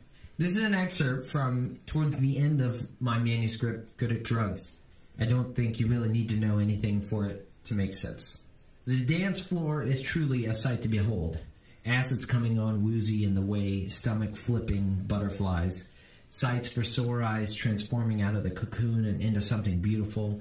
I'm overcome with everything, sun shining down, filling the warmth of my soul, gorgeous dancers with white teeth protruding between parted lips, heads bobbing, shoulders bent, bodies in motion, swirling and jumping and immersing. Let it all go. Stand still and stare up at the clouds, thick and white and hung in the sky, not the bleak gray of a storm on the horizon, but clear as day, clear minded and full of opportunity. Float on, high above the grounds, bird's eye view of the brainwash, not minding so much at the prospect. Complacency and mind control, better here than there. We could never leave.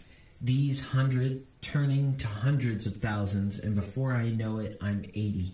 Been spending the last 50 years of my life in direct connection with the souls of others inside something that mattered, riding high on a high, not high to escape, but to be in, a spirituality and connection, people of the sun.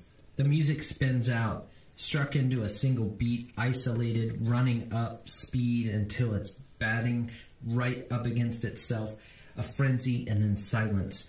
I'm pulled back to earth, off the cloud and to my feet, eyes pulled down from the sky to the stage. Those around me stop moving and settle into some post-movement stasis that one could, at most, call a sway. Track starts up slow, dripping drums slathered on the snare with a little bit of an extra rinse to them. On the one beat, a single piano stab. Done. Three more full measures. Done. Indie Darling belts out cleverly patronizing lyrics about wanting a hit, but maybe they don't do hits a pause in the music before a big grinding electro bass comes blasting out of the speakers. The entire dance floor explodes with energy. Fuck, this is what it's all about. Fumble with the zipper to unclasp the bag. A middling amount remains. Turn it onto the corner so it all collects and I can eyeball what's left. We'll make it through even though I have to take increasingly larger and larger bumps with each outing just to get where I want to be. After my self-dug K-hole, I'd probably really have to go for broke. Dig in without a particular care for quantity, shoving the whole thing up my nose. Who cares even? Find myself drawn further to the stage. Gravity's pull and I can't help but give in. To see if people part for me, though not in a straight line left at the dude with the photorealistic zebra mask, climb under two girls on their boyfriends' shoulders, practicing the sacred dance of patty cake, right at the squirrel, talking with the bush, give them a nod, can't stop and say hello. Their pupils swirl around their sockets, teeth clenched and heads reared back, laughing. I don't even know if they see me close my eyes and hum along to the beat, if not in rhythm because my vocal cords can't move that fast, then at least with a tone that feels in line with the music puncturing the air around us. Put myself in their shoes. I can see the vibrato of their voice, fluctuating waveforms green and yellow for high and low levels. Don't redline, everything goes black again levitating in the void. Presences pop up all around me, left and right and front and center. Fizzling colors form the shapes I've come to associate with people. Second sight, seeing with my eyes closed, really seeing inside the people on the dance floor, the good they've done, their hearts pumping with compassion, the joy in their ears, and they can see me too. I feel like one blood cell floating downstream. It takes all of us working together to make this body work, but we're doing it. A living, breathing, walking, talking unanimity. What's the point of being alone when together, together can, can, feel, feel so, warm? warm? Fought it long enough. Turn my attention to the DJ. Purists shame the new generation of ravers for giving too much focus on the DJ. They're all facing the same direction. They complain, Wah, who cares? Why does anyone care what anyone else does? My whole body tingles and I can barely feel my extremities, brain trying desperately to shoot through the top of my head. I feel like a million bucks and that's thanks to three people. The man playing music, the man who gave me more acid than I clearly knew what to do with, and myself. I guess there are more people involved, like the man who crystallized this batch, an unknown soldier in the war on the war on drugs. I guess Albert Hofmann for discovering it in the first place, Leary and Alpert and Kesey for popularizing whoever actually made the song that's currently being played, the Pioneers, Frankie Knuckles, DJ Pierre, the Belleville Three, Giorgio, Kraftwerk, the Beauty Collective, everyone who helped put this thing together, everyone here, all coming together into this great big perfect moment. Life itself. I can sense Aurora's aura before I can actually see her. Purple pushing through. Two people over, three back. No hesitation. I'm pulled in by a purple tractor beam. Aurora is as frozen as I am, as if time has stopped only for us. The rest of the world continues on in fast motion. Sped up dancing looks like a cartoon, or at least a cleverly edited YouTube video. Music drowns out. We stand still as the second. This moment can last forever if we let it. Trap it in a bottle and keep it on a shelf high and out of reach, so we can take it down and sip from it any time we need to remember. It's all gone. Ripped back to reality. Music in motion and speed set straight. The back of a purple paisley glitter encrusted suit jacket splits my vision from hers, pushing me back into the crowd of dancers doing what they do best dancing. I remember why I'm mad before I completely understand it.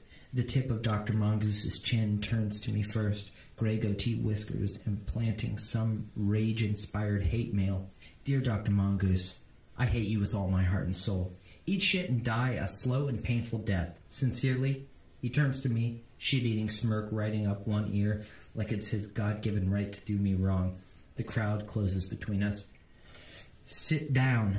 Right here in the middle of everything. This must be what it feels like when a tornado comes through town and the only option is to hide under the table. Whirlwind above and I'm huddled into a ball, hoping it all doesn't come crashing down close my eyes and wish with all my might for Dr. Mongoose to have never existed. My only option is to use his own ideas against him. Imagine him right out of here. He pops like a thought balloon, separating into a thousand pieces and spreading across the globe. A fine mist of never has been erasing its memory as he goes. No longer a recollection of interaction, just another face amongst the thousands. No effect on me but that I let it. And I refuse to let it. Self-doubt sneaks in, as it's known to do. How can I just imagine imagining without context? This isn't my idea. It's somebody else's. Hmm. Fuck this. Eyes open, step up, get to my feet, charge right over and put myself right up in his face. Big tough guy, barrel chested bravado, say something trite and hackneyed like, What's your fucking deal? Real high school fight energy. I'd be down to throw a punch, but not here. Maybe at the steering wheel on my way home. Mongoose squares up, stops dancing, sets his shoulders back, and locks his eyes in combination code with mine. The faux concern on his face reads, Whatever could you possibly mean? But his body language is a novel entitled Come at Me, Bro. It's a self help book with the subtitle A Quick and Dirty Way to Realizing You're King of Your Own Mountain. His typo is not mine. Sold really well through Instagram ads, but never really made the big push to Barnes and Noble or B. Dalton's. The sect who ate it up were also the ones who fell hook, line, and sinker for Bitcoin. Yes? He asks, like I'm the biggest bother in the universe. At odds through time and space, a real throp in his side. But I don't have much of an answer. What does this guy really do to me? Edge me out on the girl that isn't even mine? Remind me of the self value I already carry with me every day? Show me what I mean to other people? Fuck. Where is she? Nowhere in sight as if she was never there in the first place. I want to pull back, to run away, to pretend like none of this ever happened and I'm not making a fool out of myself. But it's too late. The circle around us widens, murmurs from those close enough to see what's happening that I'm some kind of an asshole. An army of same faces backs him, and I'm alone. So very alone. Like that one guy who was on the creek once, and he didn't have a way to make his raft go. A point of no return. Backed all the way to the edge of the cliff. The only way out is through. Take the leap. I tell him exactly what's on my mind in the most precise and cutting way I know how. You've got seriously bad vibes.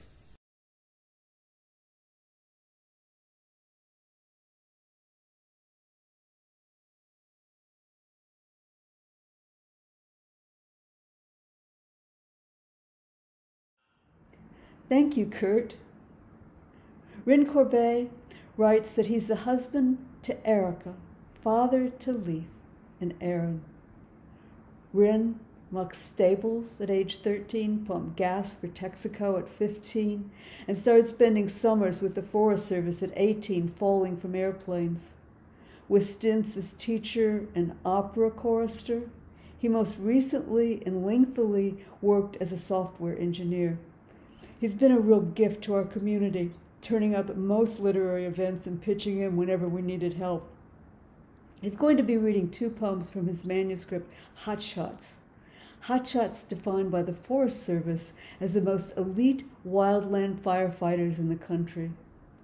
This is a manuscript full of rich narrative explorations of character, like those in The Monty Hall Problem and Tip Drop, two poems he'll share with you tonight. Please welcome Rin. Hi, everyone. This is going to be fun.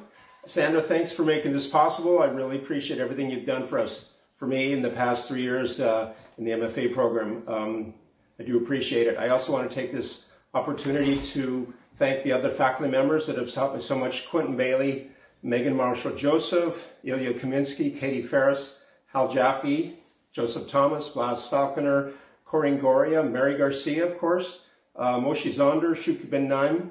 Um, everyone has been wonderful, and I've had a great three years. I also want to thank my sons, Leif and Aaron, and of course, uh, my wonderful Erica. I'm going to read uh, two poems today. The first is The Monty Hall Problem. I am a poet, plain and simple. Though mathematics was my first love, and Miss Stevens' high school geometry did nothing to alter my affection, but science was paired with Latin, and I soon became divided like Gaul. Apollo pulled me in one direction, differential calculus another, and though Mr. Layton would not say if light were a particle or a wave, I had to make a choice. Once Hernandez introduced me to Marvell's coy mistress, it became a foot race, scientific Americans slowly losing ground to Billy Collins, the trouble with poetry was always that it paid so little. I wanted children with their mouths to feed and smiles. Someone suggested I labor not in love, but computer science. That provided a home and kept the demons at bay until it didn't. I finally failed, had to leave. But who can win at every game? Which brings us to statistics, the law of large numbers. How certain is it that we say so little using so many formulae? Nor does intuition always lead to a prize. Let's make a deal. I'll switch from left brain to right while you align the stars in an assembly of English. Take my two million lines of code, see if you conjure up beauty. Not easy, because we usually talk past each other, but a good poet can get it done in 14 lines. Much, much better odds than sticking with door number one. And this is tip drop.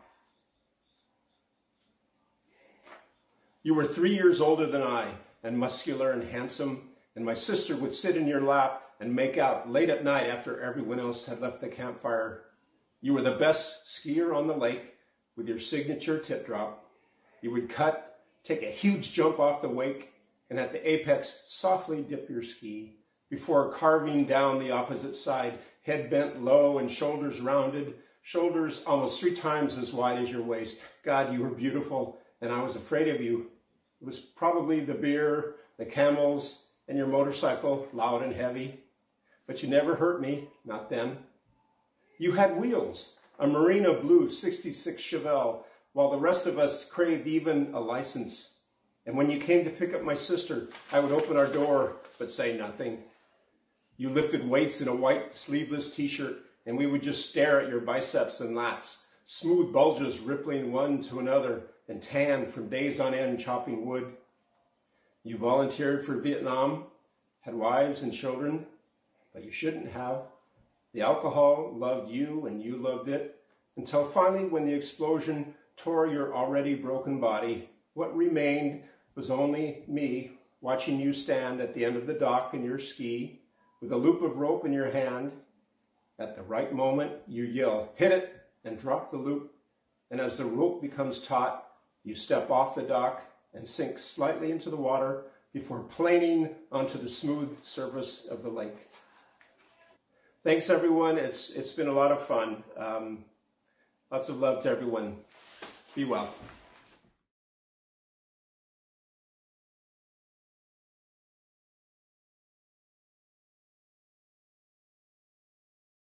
Hey, Rin, good to hear your work. Um, the next reader will be a member of our fiction program, uh, Stacy Johnson.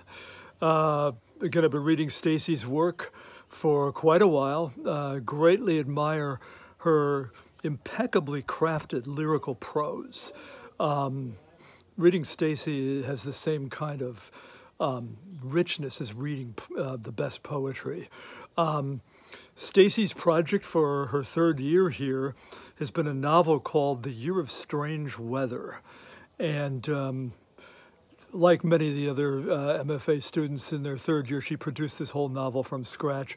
Although she'd been working on um, related short stories uh, for several years before this, so it didn't just come out of nowhere. Um, anyway, The Year of Strange Weather could be described as a PTSD novel. Uh, uh, a man who's a veteran of, if I'm remembering correctly, the two Iraq interventions. Um, and he's suffering from PTSD. He's constantly preparing for the end of the world. Um, and a big part of the novel deals with uh, his wife and his daughter trying to cope with uh, this man's insistence on obsessively hoarding and collecting things and taking walks where he explores uh, the various possibilities of the end of the world. Um, what's brilliant about the Year of Strange Weather, though, is the prose itself. Uh, this is a real, just a real feast of brilliantly used language, similes, metaphors, uh, incredible setting descriptions, especially in the um, high desert regions around the Salton Sea. Um, if that region, which we all know is extremely bizarre and post-apocalyptic, that region ever had needed a poet. Stacy Johnson is that poet. So Stacy's going to read uh, tonight from a section of The Year of Strange Weather.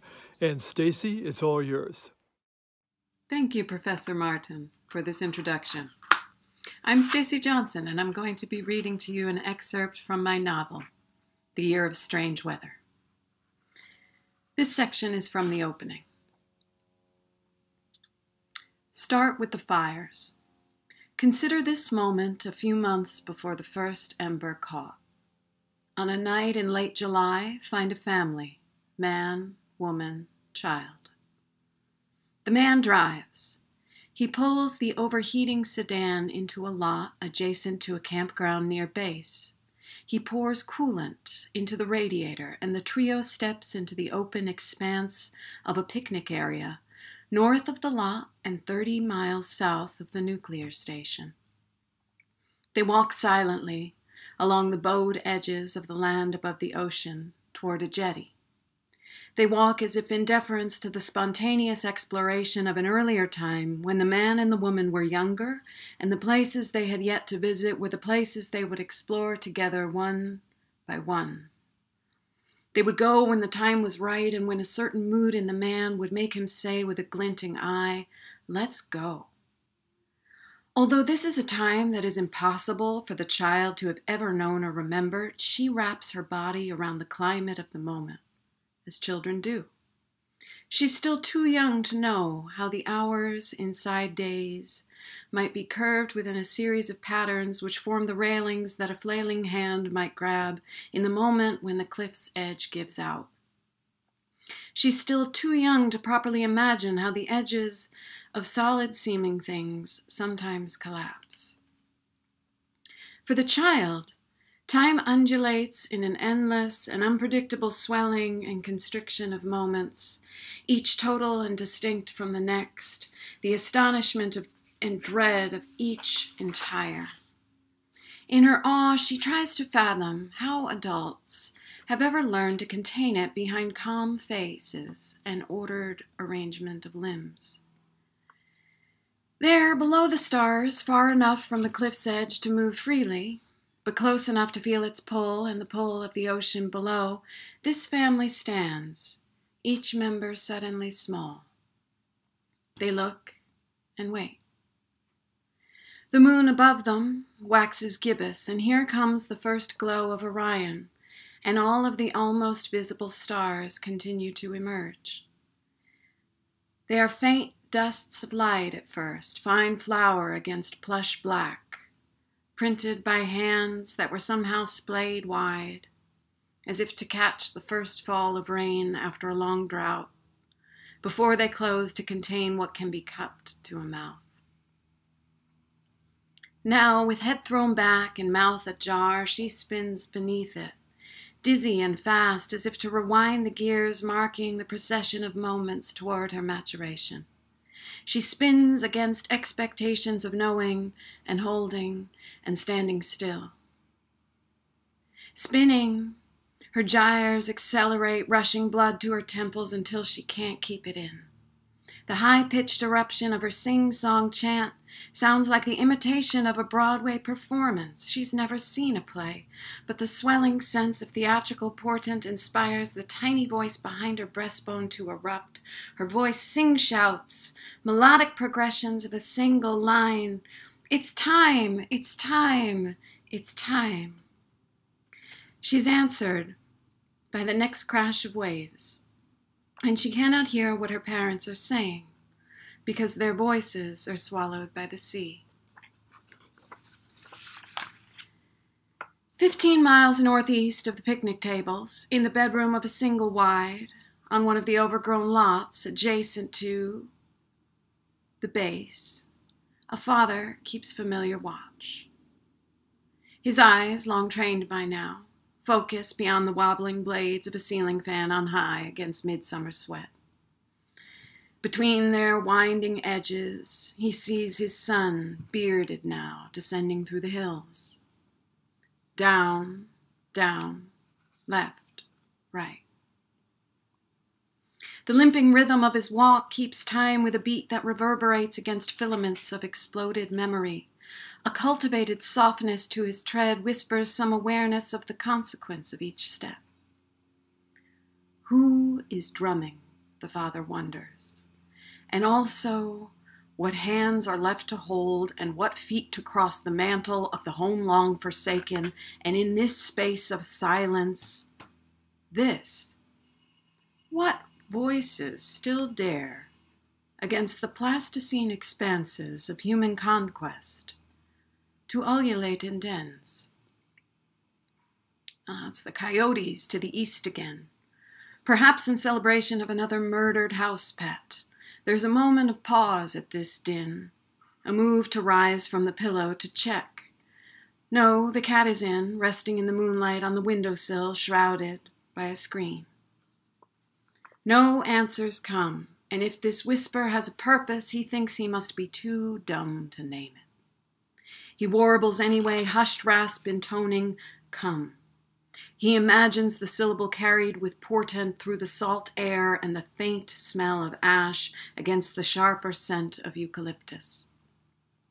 Come down, he urges, and here is several hundred miles southwest of the last free place, which was the last known address of his only descendant, the pilgrim on foot keeping watch in the badlands beyond the doomed cities.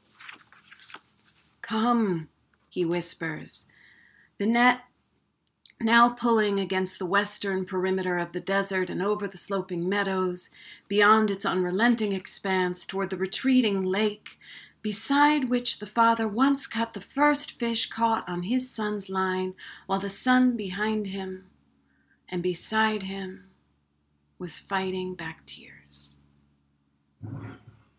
Still beneath the fan, he climbs now above the lake through copses of oak and big cone pines, past the snow line and in view of the ocean, and down again past the avocado groves, taking care on the shoulder of SR 79 not to be bowled over by Harleys careening past SUVs too impatient to wait behind wide load 18 wheelers and the pickups of the ranch hands and vineyard keepers. Perhaps he will pause for a moment in the air conditioned shade of a reservation casino to remember that few bets on a craps table are as safe as the six and the eight, no matter the minimum. And there he might stand to catch his breath, there he might wait, quenching thirst while ice cools his parched throat, for the winds to balance the losses before moving west again into sunset until he runs out of land. Come, come. Come.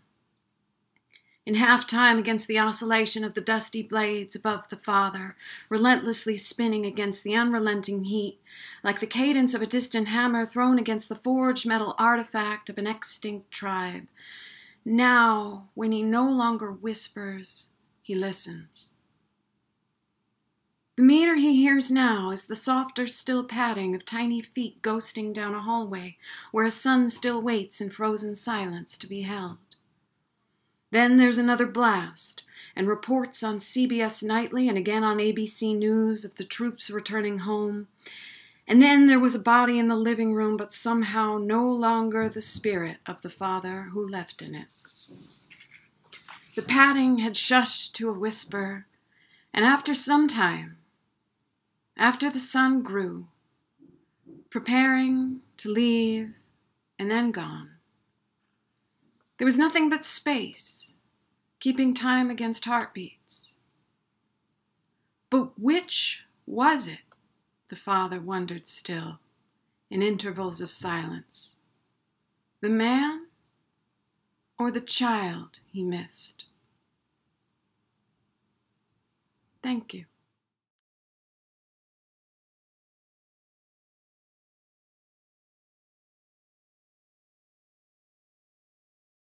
Hey, Stacy, great reading. Um, our next reader for tonight will be William Lambert, uh, a fiction writer. Been reading William's work for the past three years and admiring his willingness to explore various fictive possibilities. He's pretty much tried everything horror, realism, uh, a kind of mixed genre work involving essayistic uh, elements combined with narrative elements uh, developed a strong interest in dialogue over the past year, and that dialogue has been a sustaining element in the project Williams been working on this year, uh, a book called Black Coatl, which is a novel which explores the ambiguities of vigilante justice in an urban setting. Uh, this character, Black Quaddle, is a little bit like Spider Man, um, although maybe a, a, kind of parody of Spider Man. Uh, Black is a very disturbed, confused character. Um, he's a hero in many ways, uh, saving people. Um, but he also uh, has anger issues, violence issues, and, and so we're not sure how much to like him. And I think that kind of ambiguity is perfect for a, a superhero uh, in the 21st century. Um, but tonight, William is not going to read from Black Quaddle. He's going to read from a short story, or not read from, he's going to read the whole short story called Decayed Martyr. Um, Decayed Martyr won this year's President's Award for the Arts at the Student Research Symposium. Uh, so, William, congratulations on that. Uh, we're thrilled to hear that you won that, and we're eager to hear the story you're going to read for us tonight. William, take it away. Hello, everyone. Before I begin, I'd like to thank uh, Dr. Martin uh, for the introduction. So, the title of my story is called Worship of a Decaying Martyr. I will begin now. he called himself the Messiah, walked among the unfortunate, proclaimed that God's kingdom was inclusive, cleansed the temple, challenged Rome, and paid for it, asking God why he'd forsaken him. His followers lost hope and disperse. Seven days since his death, beneath the dark cloud sky, vultures circled above Golgotha, where three naked bodies stood crucified. One vulture swooped towards a bloated corpse, engulfed with whiplashes and perched on its shoulder, eyeing the swarming flies, picking around, picking around the thorns pricked to its forehead, smelling dried shit and decaying flesh. The vulture tore off its eye and ate it, ignoring the screams from below. A mother and her companions, Mary, a childhood friend of her son, and the disciple Simon stood paralyzed, watching the centurion beat Joseph of Arimathea. By orders of Pontius Pilate, a, bur- a burial won't be permitted. He forced Joseph up and kicked him from behind. Simon watched Joseph flee. Joseph was wealthy and had a tomb prepared. Simon had brought him, hoping he could bribe the centurion. Their last hope was gone, like their beloved leader, and it was his fault. Simon had promised to protect them. He fled it should have been him on the cross. The mother rushed towards the centurion. Give me back my son! She banged her fist against his chest. He backhanded her. Know your place, Jew! The mother collapsed, sobbing. She'd given birth to the Messiah, held him, and watched him grow. She wanted to embrace him one last time before burial, but the centurion said he deserved to rot claiming he was a threat to the state. Mary helped her up. She glanced up, bursting into tears. Remembering his warm embrace, he'd kiss her, never treat her like a whore. His loving face, once fearless, was marked with despair, lifeless eyes tortured with disappointment, mouth gaped open, flashing rotten gums and teeth, screaming as if he was still crying to God. Simon put his hand on Mary's shoulder, insisting on walking the mother home. Before leaving, Simon looked up. His master was supposed to liberate the Jewish people, begin an age of peace and prosperity. What was he supposed to do now? Within three days, the mother hung herself. Mary was stabbed by a drunk client for laughing at a small penis. Each day, rows of crosses increased the son became another body among bodies, molding until bones lingered. The remains were tossed to the dogs. During this time, Simon and the disciples studied the scriptures for answers. They found a passage about a misunderstood servant who died for everyone's sins. Surely he has borne our infirmities and carried our diseases, yet we accounted him stricken, struck down by God, and afflicted. But he was wounded for our transgressions crushed for our inequalities. Upon him was the punishment that made us whole, and by his bruises we are healed. Isaiah 53, 4 5. With the help of their, mas- with the help of their master's half brother James, they preached about the Messiah's death being part of God's plan, so he could be resurrected. People asked him how he returned if his body rotted. They quoted the scriptures and claimed that God had given him a new body as a reward for his loyalty. People believed them, although it created tension with those who believed that the Messiah was supposed to be a warrior, not a carpenter. The story attracted enough followers. The faithless, the faithless became the faithless became faithful again. Hope returned. It was the greatest lie ever told. News spread too quickly. Parts of the story were misinterpreted. People forgot that his body remained on the cross, believing he was buried before revival. The supposed tomb would become known as the Church of Holy Sepulchre, a major tourist attraction in Jerusalem. Even Gentiles wanted to convert. However, there is one problem. Converting to Judaism was required, a nightmare for the men because of circumcision. Then Paul the Apostle stepped in. Unlike the disciples, Paul was rich and Roman, allowing him more privilege. He told Gentiles that they did not have to be Jewish to become Christians. A relief for the men. Through his letters, marking the beginning of the New Testament, he wrote about preparing for the Messiah's return and the coming of the kingdom. Eventually, Christianity became the official religion of Rome, thanks to Emperor Constantine. The Messiah's crucifixion manifested into bodies of churches, expanding throughout several countries. But what was meant to help the Jewish people added to their suffering. In order to maintain peace with the Roman Empire, the Gospels portray Pilate as a sincere individual forced into enacting punishment. Unlike the real Pilate, who was devoid of empathy when he ordered the Messiah's crucifixion, the Romans were the true killers. However, the Jewish people were blamed even though the Messiah himself was Jewish. Anti Semitism became part of the Christian doctrine, leading to years of persecution. Other misfortunes include wars, clashing Christian dominations, witch burnings, colonialism, the Spanish Inquisition, the elevation of discrimination towards queer people, justifications for American slavery, the founding of the Ku Klux Klan, contributions to systematic racism, gender equality, greed, scandalous activities, manipulative tactics, corporate corruption, class disparity, abuse of political power, and other tragedies too high to count. And while not directly responsible, the anti Semitic attitudes that were common among Christians influenced tyrants like Adolf Hitler to advocate for the genocide of millions during the Holocaust. The Messiah's intentions were noble. He wanted to help people, teach them how to live better lives.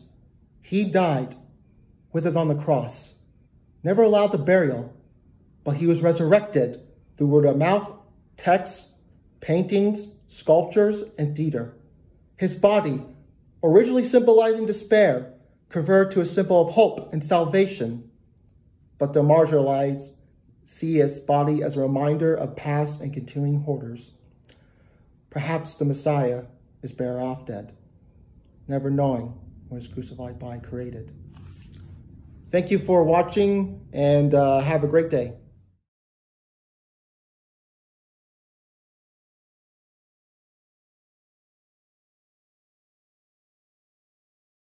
Our next reader for tonight will be Diana Phan. Diana's from the fiction side of the program, and uh, a writer I've been admiring for the whole three years she's been here. Uh, Dan is one of the funniest writers in the program and one of the most unusual. Um, her new novel, Snake Wine, which she's been working on throughout the third year here, um, did not start from scratch. Diana was working on the characters in Snake Wine the whole time she was here, doing various stories involving these characters before finally uh, coming up with the, the, the narrative she's, she's got now and which she's been pursuing diligently. I admire Diana's uh, discipline uh, as much as I admire anything about her work. Um, Snake Wine is I think three or four hundred pages now, and we're not done. Uh, this is going to be a big novel. Um, you could maybe describe Diana's work as a combination of Pink Flamingos and Hieronymus Bosch's Garden of Earthly Delights. I mean, there's there's nothing like Diana Phan's writing. Um, hilarious humor. Uh, uh, bizarre characters who are caught up in all sorts of sexual transformations M2F, F2M, you name it. They'll show up in Diana Phan's Snake Wine. Um, I should say also that Diana's book, as it develops, involves some very complex, deeply developed characters. Uh, at first, I thought Diana was mainly just funny, but I see now that there's a much more complex formula unfolding in her work. So, Diana's going to read a segment of Snake Wine for us tonight. Diana, take it away. Thank you very much, Dr. Martin, for that introduction. Before I begin my reading, I would like to thank those who have helped me out in this program. I would like to thank Dr. Martea Weber, Dr. Sharon Sexton, and Dr. Carol Ketchum for their support of my journey, along with TJ Reynolds, Sean Cooligan, William Lambert, and my family and friends were working with me as well. This is an excerpt from my novel, Snake Wine. This novel focuses on a gay Vietnamese American teenage trans man named Jin, and he has been recruited by the SWA, an imaginary intelligence organization to confront a rogue population of human experiments called the Super Soldiers. In the excerpt I'll be sharing with you tonight, Jin and his SWA mentor Cosmo, a sex-obsessed middle-aged general, are meeting with Jin's uncle Ben, who is naming Jin to be the head of his family and giving him the ancestral Mai Vo sword. The Mai Vo were a clan of Buddhist warriors in ancient Vietnam. And now, let's begin the story. I understand your fears, Jin, Ben sighed. I heard every story out there about Asian families banning their child for being gay or transgender. But did you ever ask me what I thought about you? Bun told me that you wouldn't accept me. Nobody would accept me. And she's always right about everything. Hell, when I told you, you were all mad. It wasn't until Bun threatened all you that you were willing to accept me. And it's a moment I regret, Ben said. I wanted to conquer my fear and tell you that I accepted you. To tell you that I loved you no matter what. I could accept that my niece was my nephew. Why couldn't you? I was scared. My teeth and mouth moved, but there was no sound inside. Bun never cared about you. She saw you as a sword and shield. You attack and defend her when she commands you to, but I saw you as a human being. I didn't know what you were going to be, but I prayed to Buddha that you would grow up to be a good person. It was all I asked of Buddha. He looked up to the sky, above the banana trees and bamboo. Ben closed his eyes and listened to the breeze that whispered. He knew that the world was going to change and learn, and to keep the Maivos alive, he needed someone to be like the world. Ben got up from the lawn chair and went towards the shed. Come on, Jin. I got something to show you. It's our family history. Ben walked in the shed first and Jin followed. Nick also went in out of curiosity. Inside of the shed was all the Mai Vo family stuff. There were painted portraits and, fo and photos of the recent heads of the Mai Vos on the wall. On the shelves and glass cases, there were weapons that ranged from swords to guns and trophies. There were photos of Jin's grandfather when he stood with the American soldiers. It made him smile that his grandfather was the shortest, with his head only reaching up to their, their soldiers. When, Jin, when Ben saw his guitar, his hand twitched and he reached for it. Memories of soldiers giving him coins and glass bottles of Coke appeared along with images of his father's death. He closed his eyes and saw the Vietnam dirt road his skinny legs carrying him and his huge guitar that was bigger than him. He heard the American soldiers ask him, little buddy, you got a song for us? Slowly, he picked up the guitar while Jin silently watched. Ben put it against him and smiled that the guitar finally fit his middle-aged chubby frame. He brushed the strings and an off-tune sound emerged with the dust cloud. He quickly stopped and tuned his guitar carefully. Ben stopped and kept walking, until he stopped at his father's trunk. It was a large and green trunk with a rope tied around it. What is it, Jin? This is my father's trunk. We never opened it, ever since he died. We all thought that this is where he kept his treasures. I think it's best if he respected his wishes, said. He walked over to the large photo of his father and his family standing in front of their house in Vietnam. It looked like it was filtered with a blurry cloud. Ben gently removed the photo and pulled out a large rectangular case. He gestured for Jin to follow him to one of the tables, and he placed it down. Ben turned to the case to reveal the swords to Jin. In front of Jin were the Mai Vo butterfly swords, which were 12 inches long with engravings on the blades with bronze and gold handles. On the right sword, there was a four-legged Chinese dragon, and around it was Chu Nam writing. and, the, and a phoenix on the left sword that had the same writing. Holy crap, Jin eyed the sword. Guess where he saw the dragon and phoenix images emerging from the dust when they saw him. Did anyone tell you about the myth surrounding these swords? Ben said, No, I just know that we had two swords that were passed down over the generations to the heads of the family. Smiled. Well, some people believe that the swords are magic. I may not know what the Junam ranks is, but I of believe in the magic. People would say that when Buddha blessed us with fighting skills, he gave us a wing from a dragon and a wing from a phoenix to give these swords the power to fight monsters. He picked up the swords and placed them together to make one. When they're together, they delivered the judgment of heaven. Then he separated the swords. Separate, they moved their own ways. He swept the right sword with, with the dragon, and Jin heard the air get sliced with a loud whoosh. The dragon delivers the rain. It tells the people you're defending and helping them. Then with the phoenix sword, Ben moved gracefully. The phoenix delivers peace. Dragon and phoenix are husband and wife, man and woman. They must and they must be together. They say that these swords will always return to the head of the Maivo family. He placed the swords down into the case and moved them towards Jin. Wait, I don't think I deserve these swords. Are you sure you're not making a hasty mistake? The Maivo leadership changes. Before strength was valued, then other attributes were added, just like how the family changes. There's no such thing as a pure Maivo. Down the line, we blend we blended with the other martial arts families. Look at yourself, Jin. You're a Maivo and a Kim Lee. Ben glanced at the sword. I think, since I was the last one to see my father die, and this was my plan, I should be the one that grants you the sword. What if I mess up? Remember what you told us at the incident you caused, that brawl in Vegas? The one that caused this whole chain of events. What did you tell us? That I messed up and I was going to do something about it. And that and that was a really bad idea. Ben nodded and smiled. You're on your way to be to be an excellent head of the family. At least you took responsibility for your actions and learned something. That's what makes a great leader. They learn, change, and care for the people. I think you're going to be a fine teacher, especially in this world. The world always learns, and we must. But I'm too young to be the head. This is a weird world, Jin, and the whole family is nearing their 60s. We're too old. I think we need to have some young blood lead us. Jin put his hands on the one table and looked in Ben's eyes, where he saw that his uncle had confidence in him as the new head of the Maivos. But Jin needed a second opinion, one that was critical. Someone who had been in the same position as him. He turned to Cosmo, who was slowly untying the ropes on his grandfather's trunk. What are you doing, Jin said. Quiet. I'm trying to figure out what your grandpa's secret was. Only family can find out what's in that trunk. Technically, Cosmo is family, Ben said.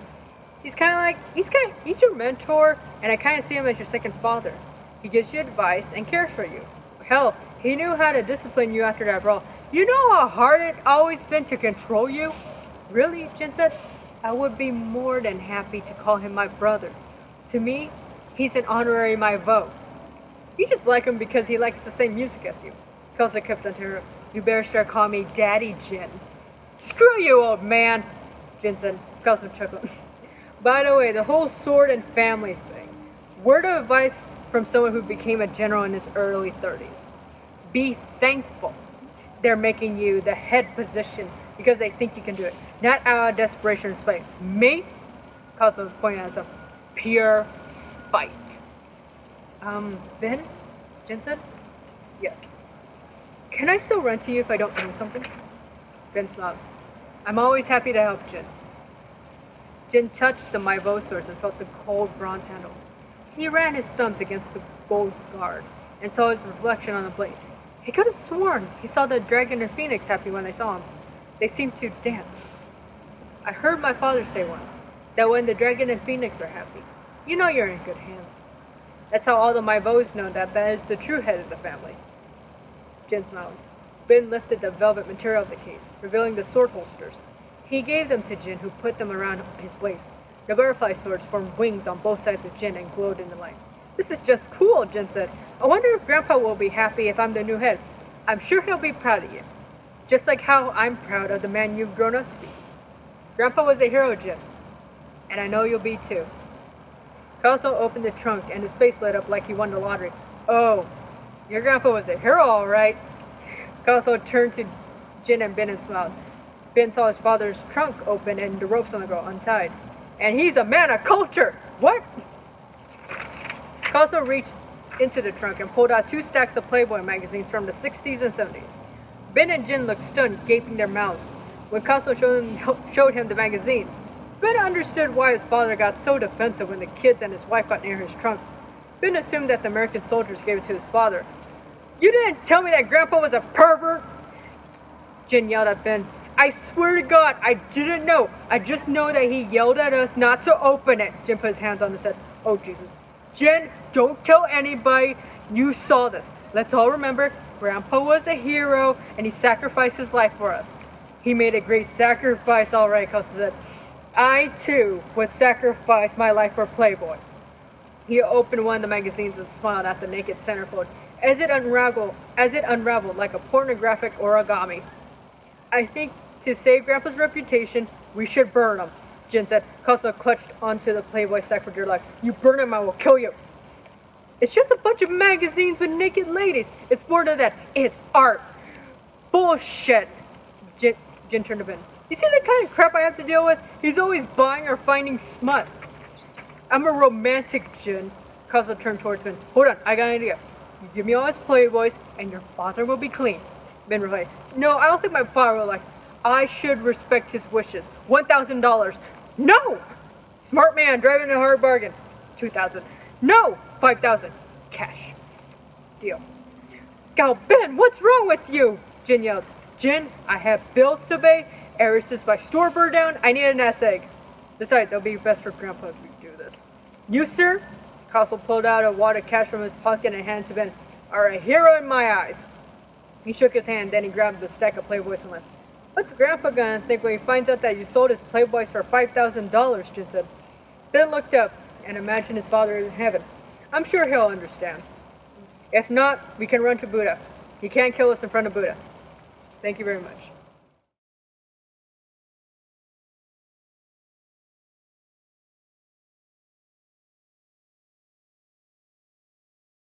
Hey, Diana, thanks for a really great reading. Uh, great to hear your work. Great to hear everyone's work tonight. This has been a really moving experience for me. A rite of passage in the best sense of the word. A way of honoring the steps you've all taken in the mastery of a creative art form. It's been a privilege for me to have shared that with you question now is, of course, what comes next? Rite of passage means that something is ending, something new is beginning. Well, as you look at the literary world today, most of you, I'm sure, feel kind of overwhelmed. There's so much great work being done out there, that's for sure. And you could ask yourself, what place is there for me in all this? Well, I think we have to assume when we're moving forward that the best books have yet to be written. And we wouldn't be graduating you if we didn't have the confidence that you could write those books. In fact, I expect you to write those books. And I know you won't let me down. Thanks to all of you for joining us here tonight. It's a difficult world that we're living in. I don't have to tell any of you that. The past four years have been a political abomination. And then at the end of that, the coronavirus. And we're forced to do our graduation reading online. But ultimately, we'll prevail. Our works will outlast the, the present political administration and the coronavirus. So while it's important to live safely it's also important to live creatively. Thanks again for joining us.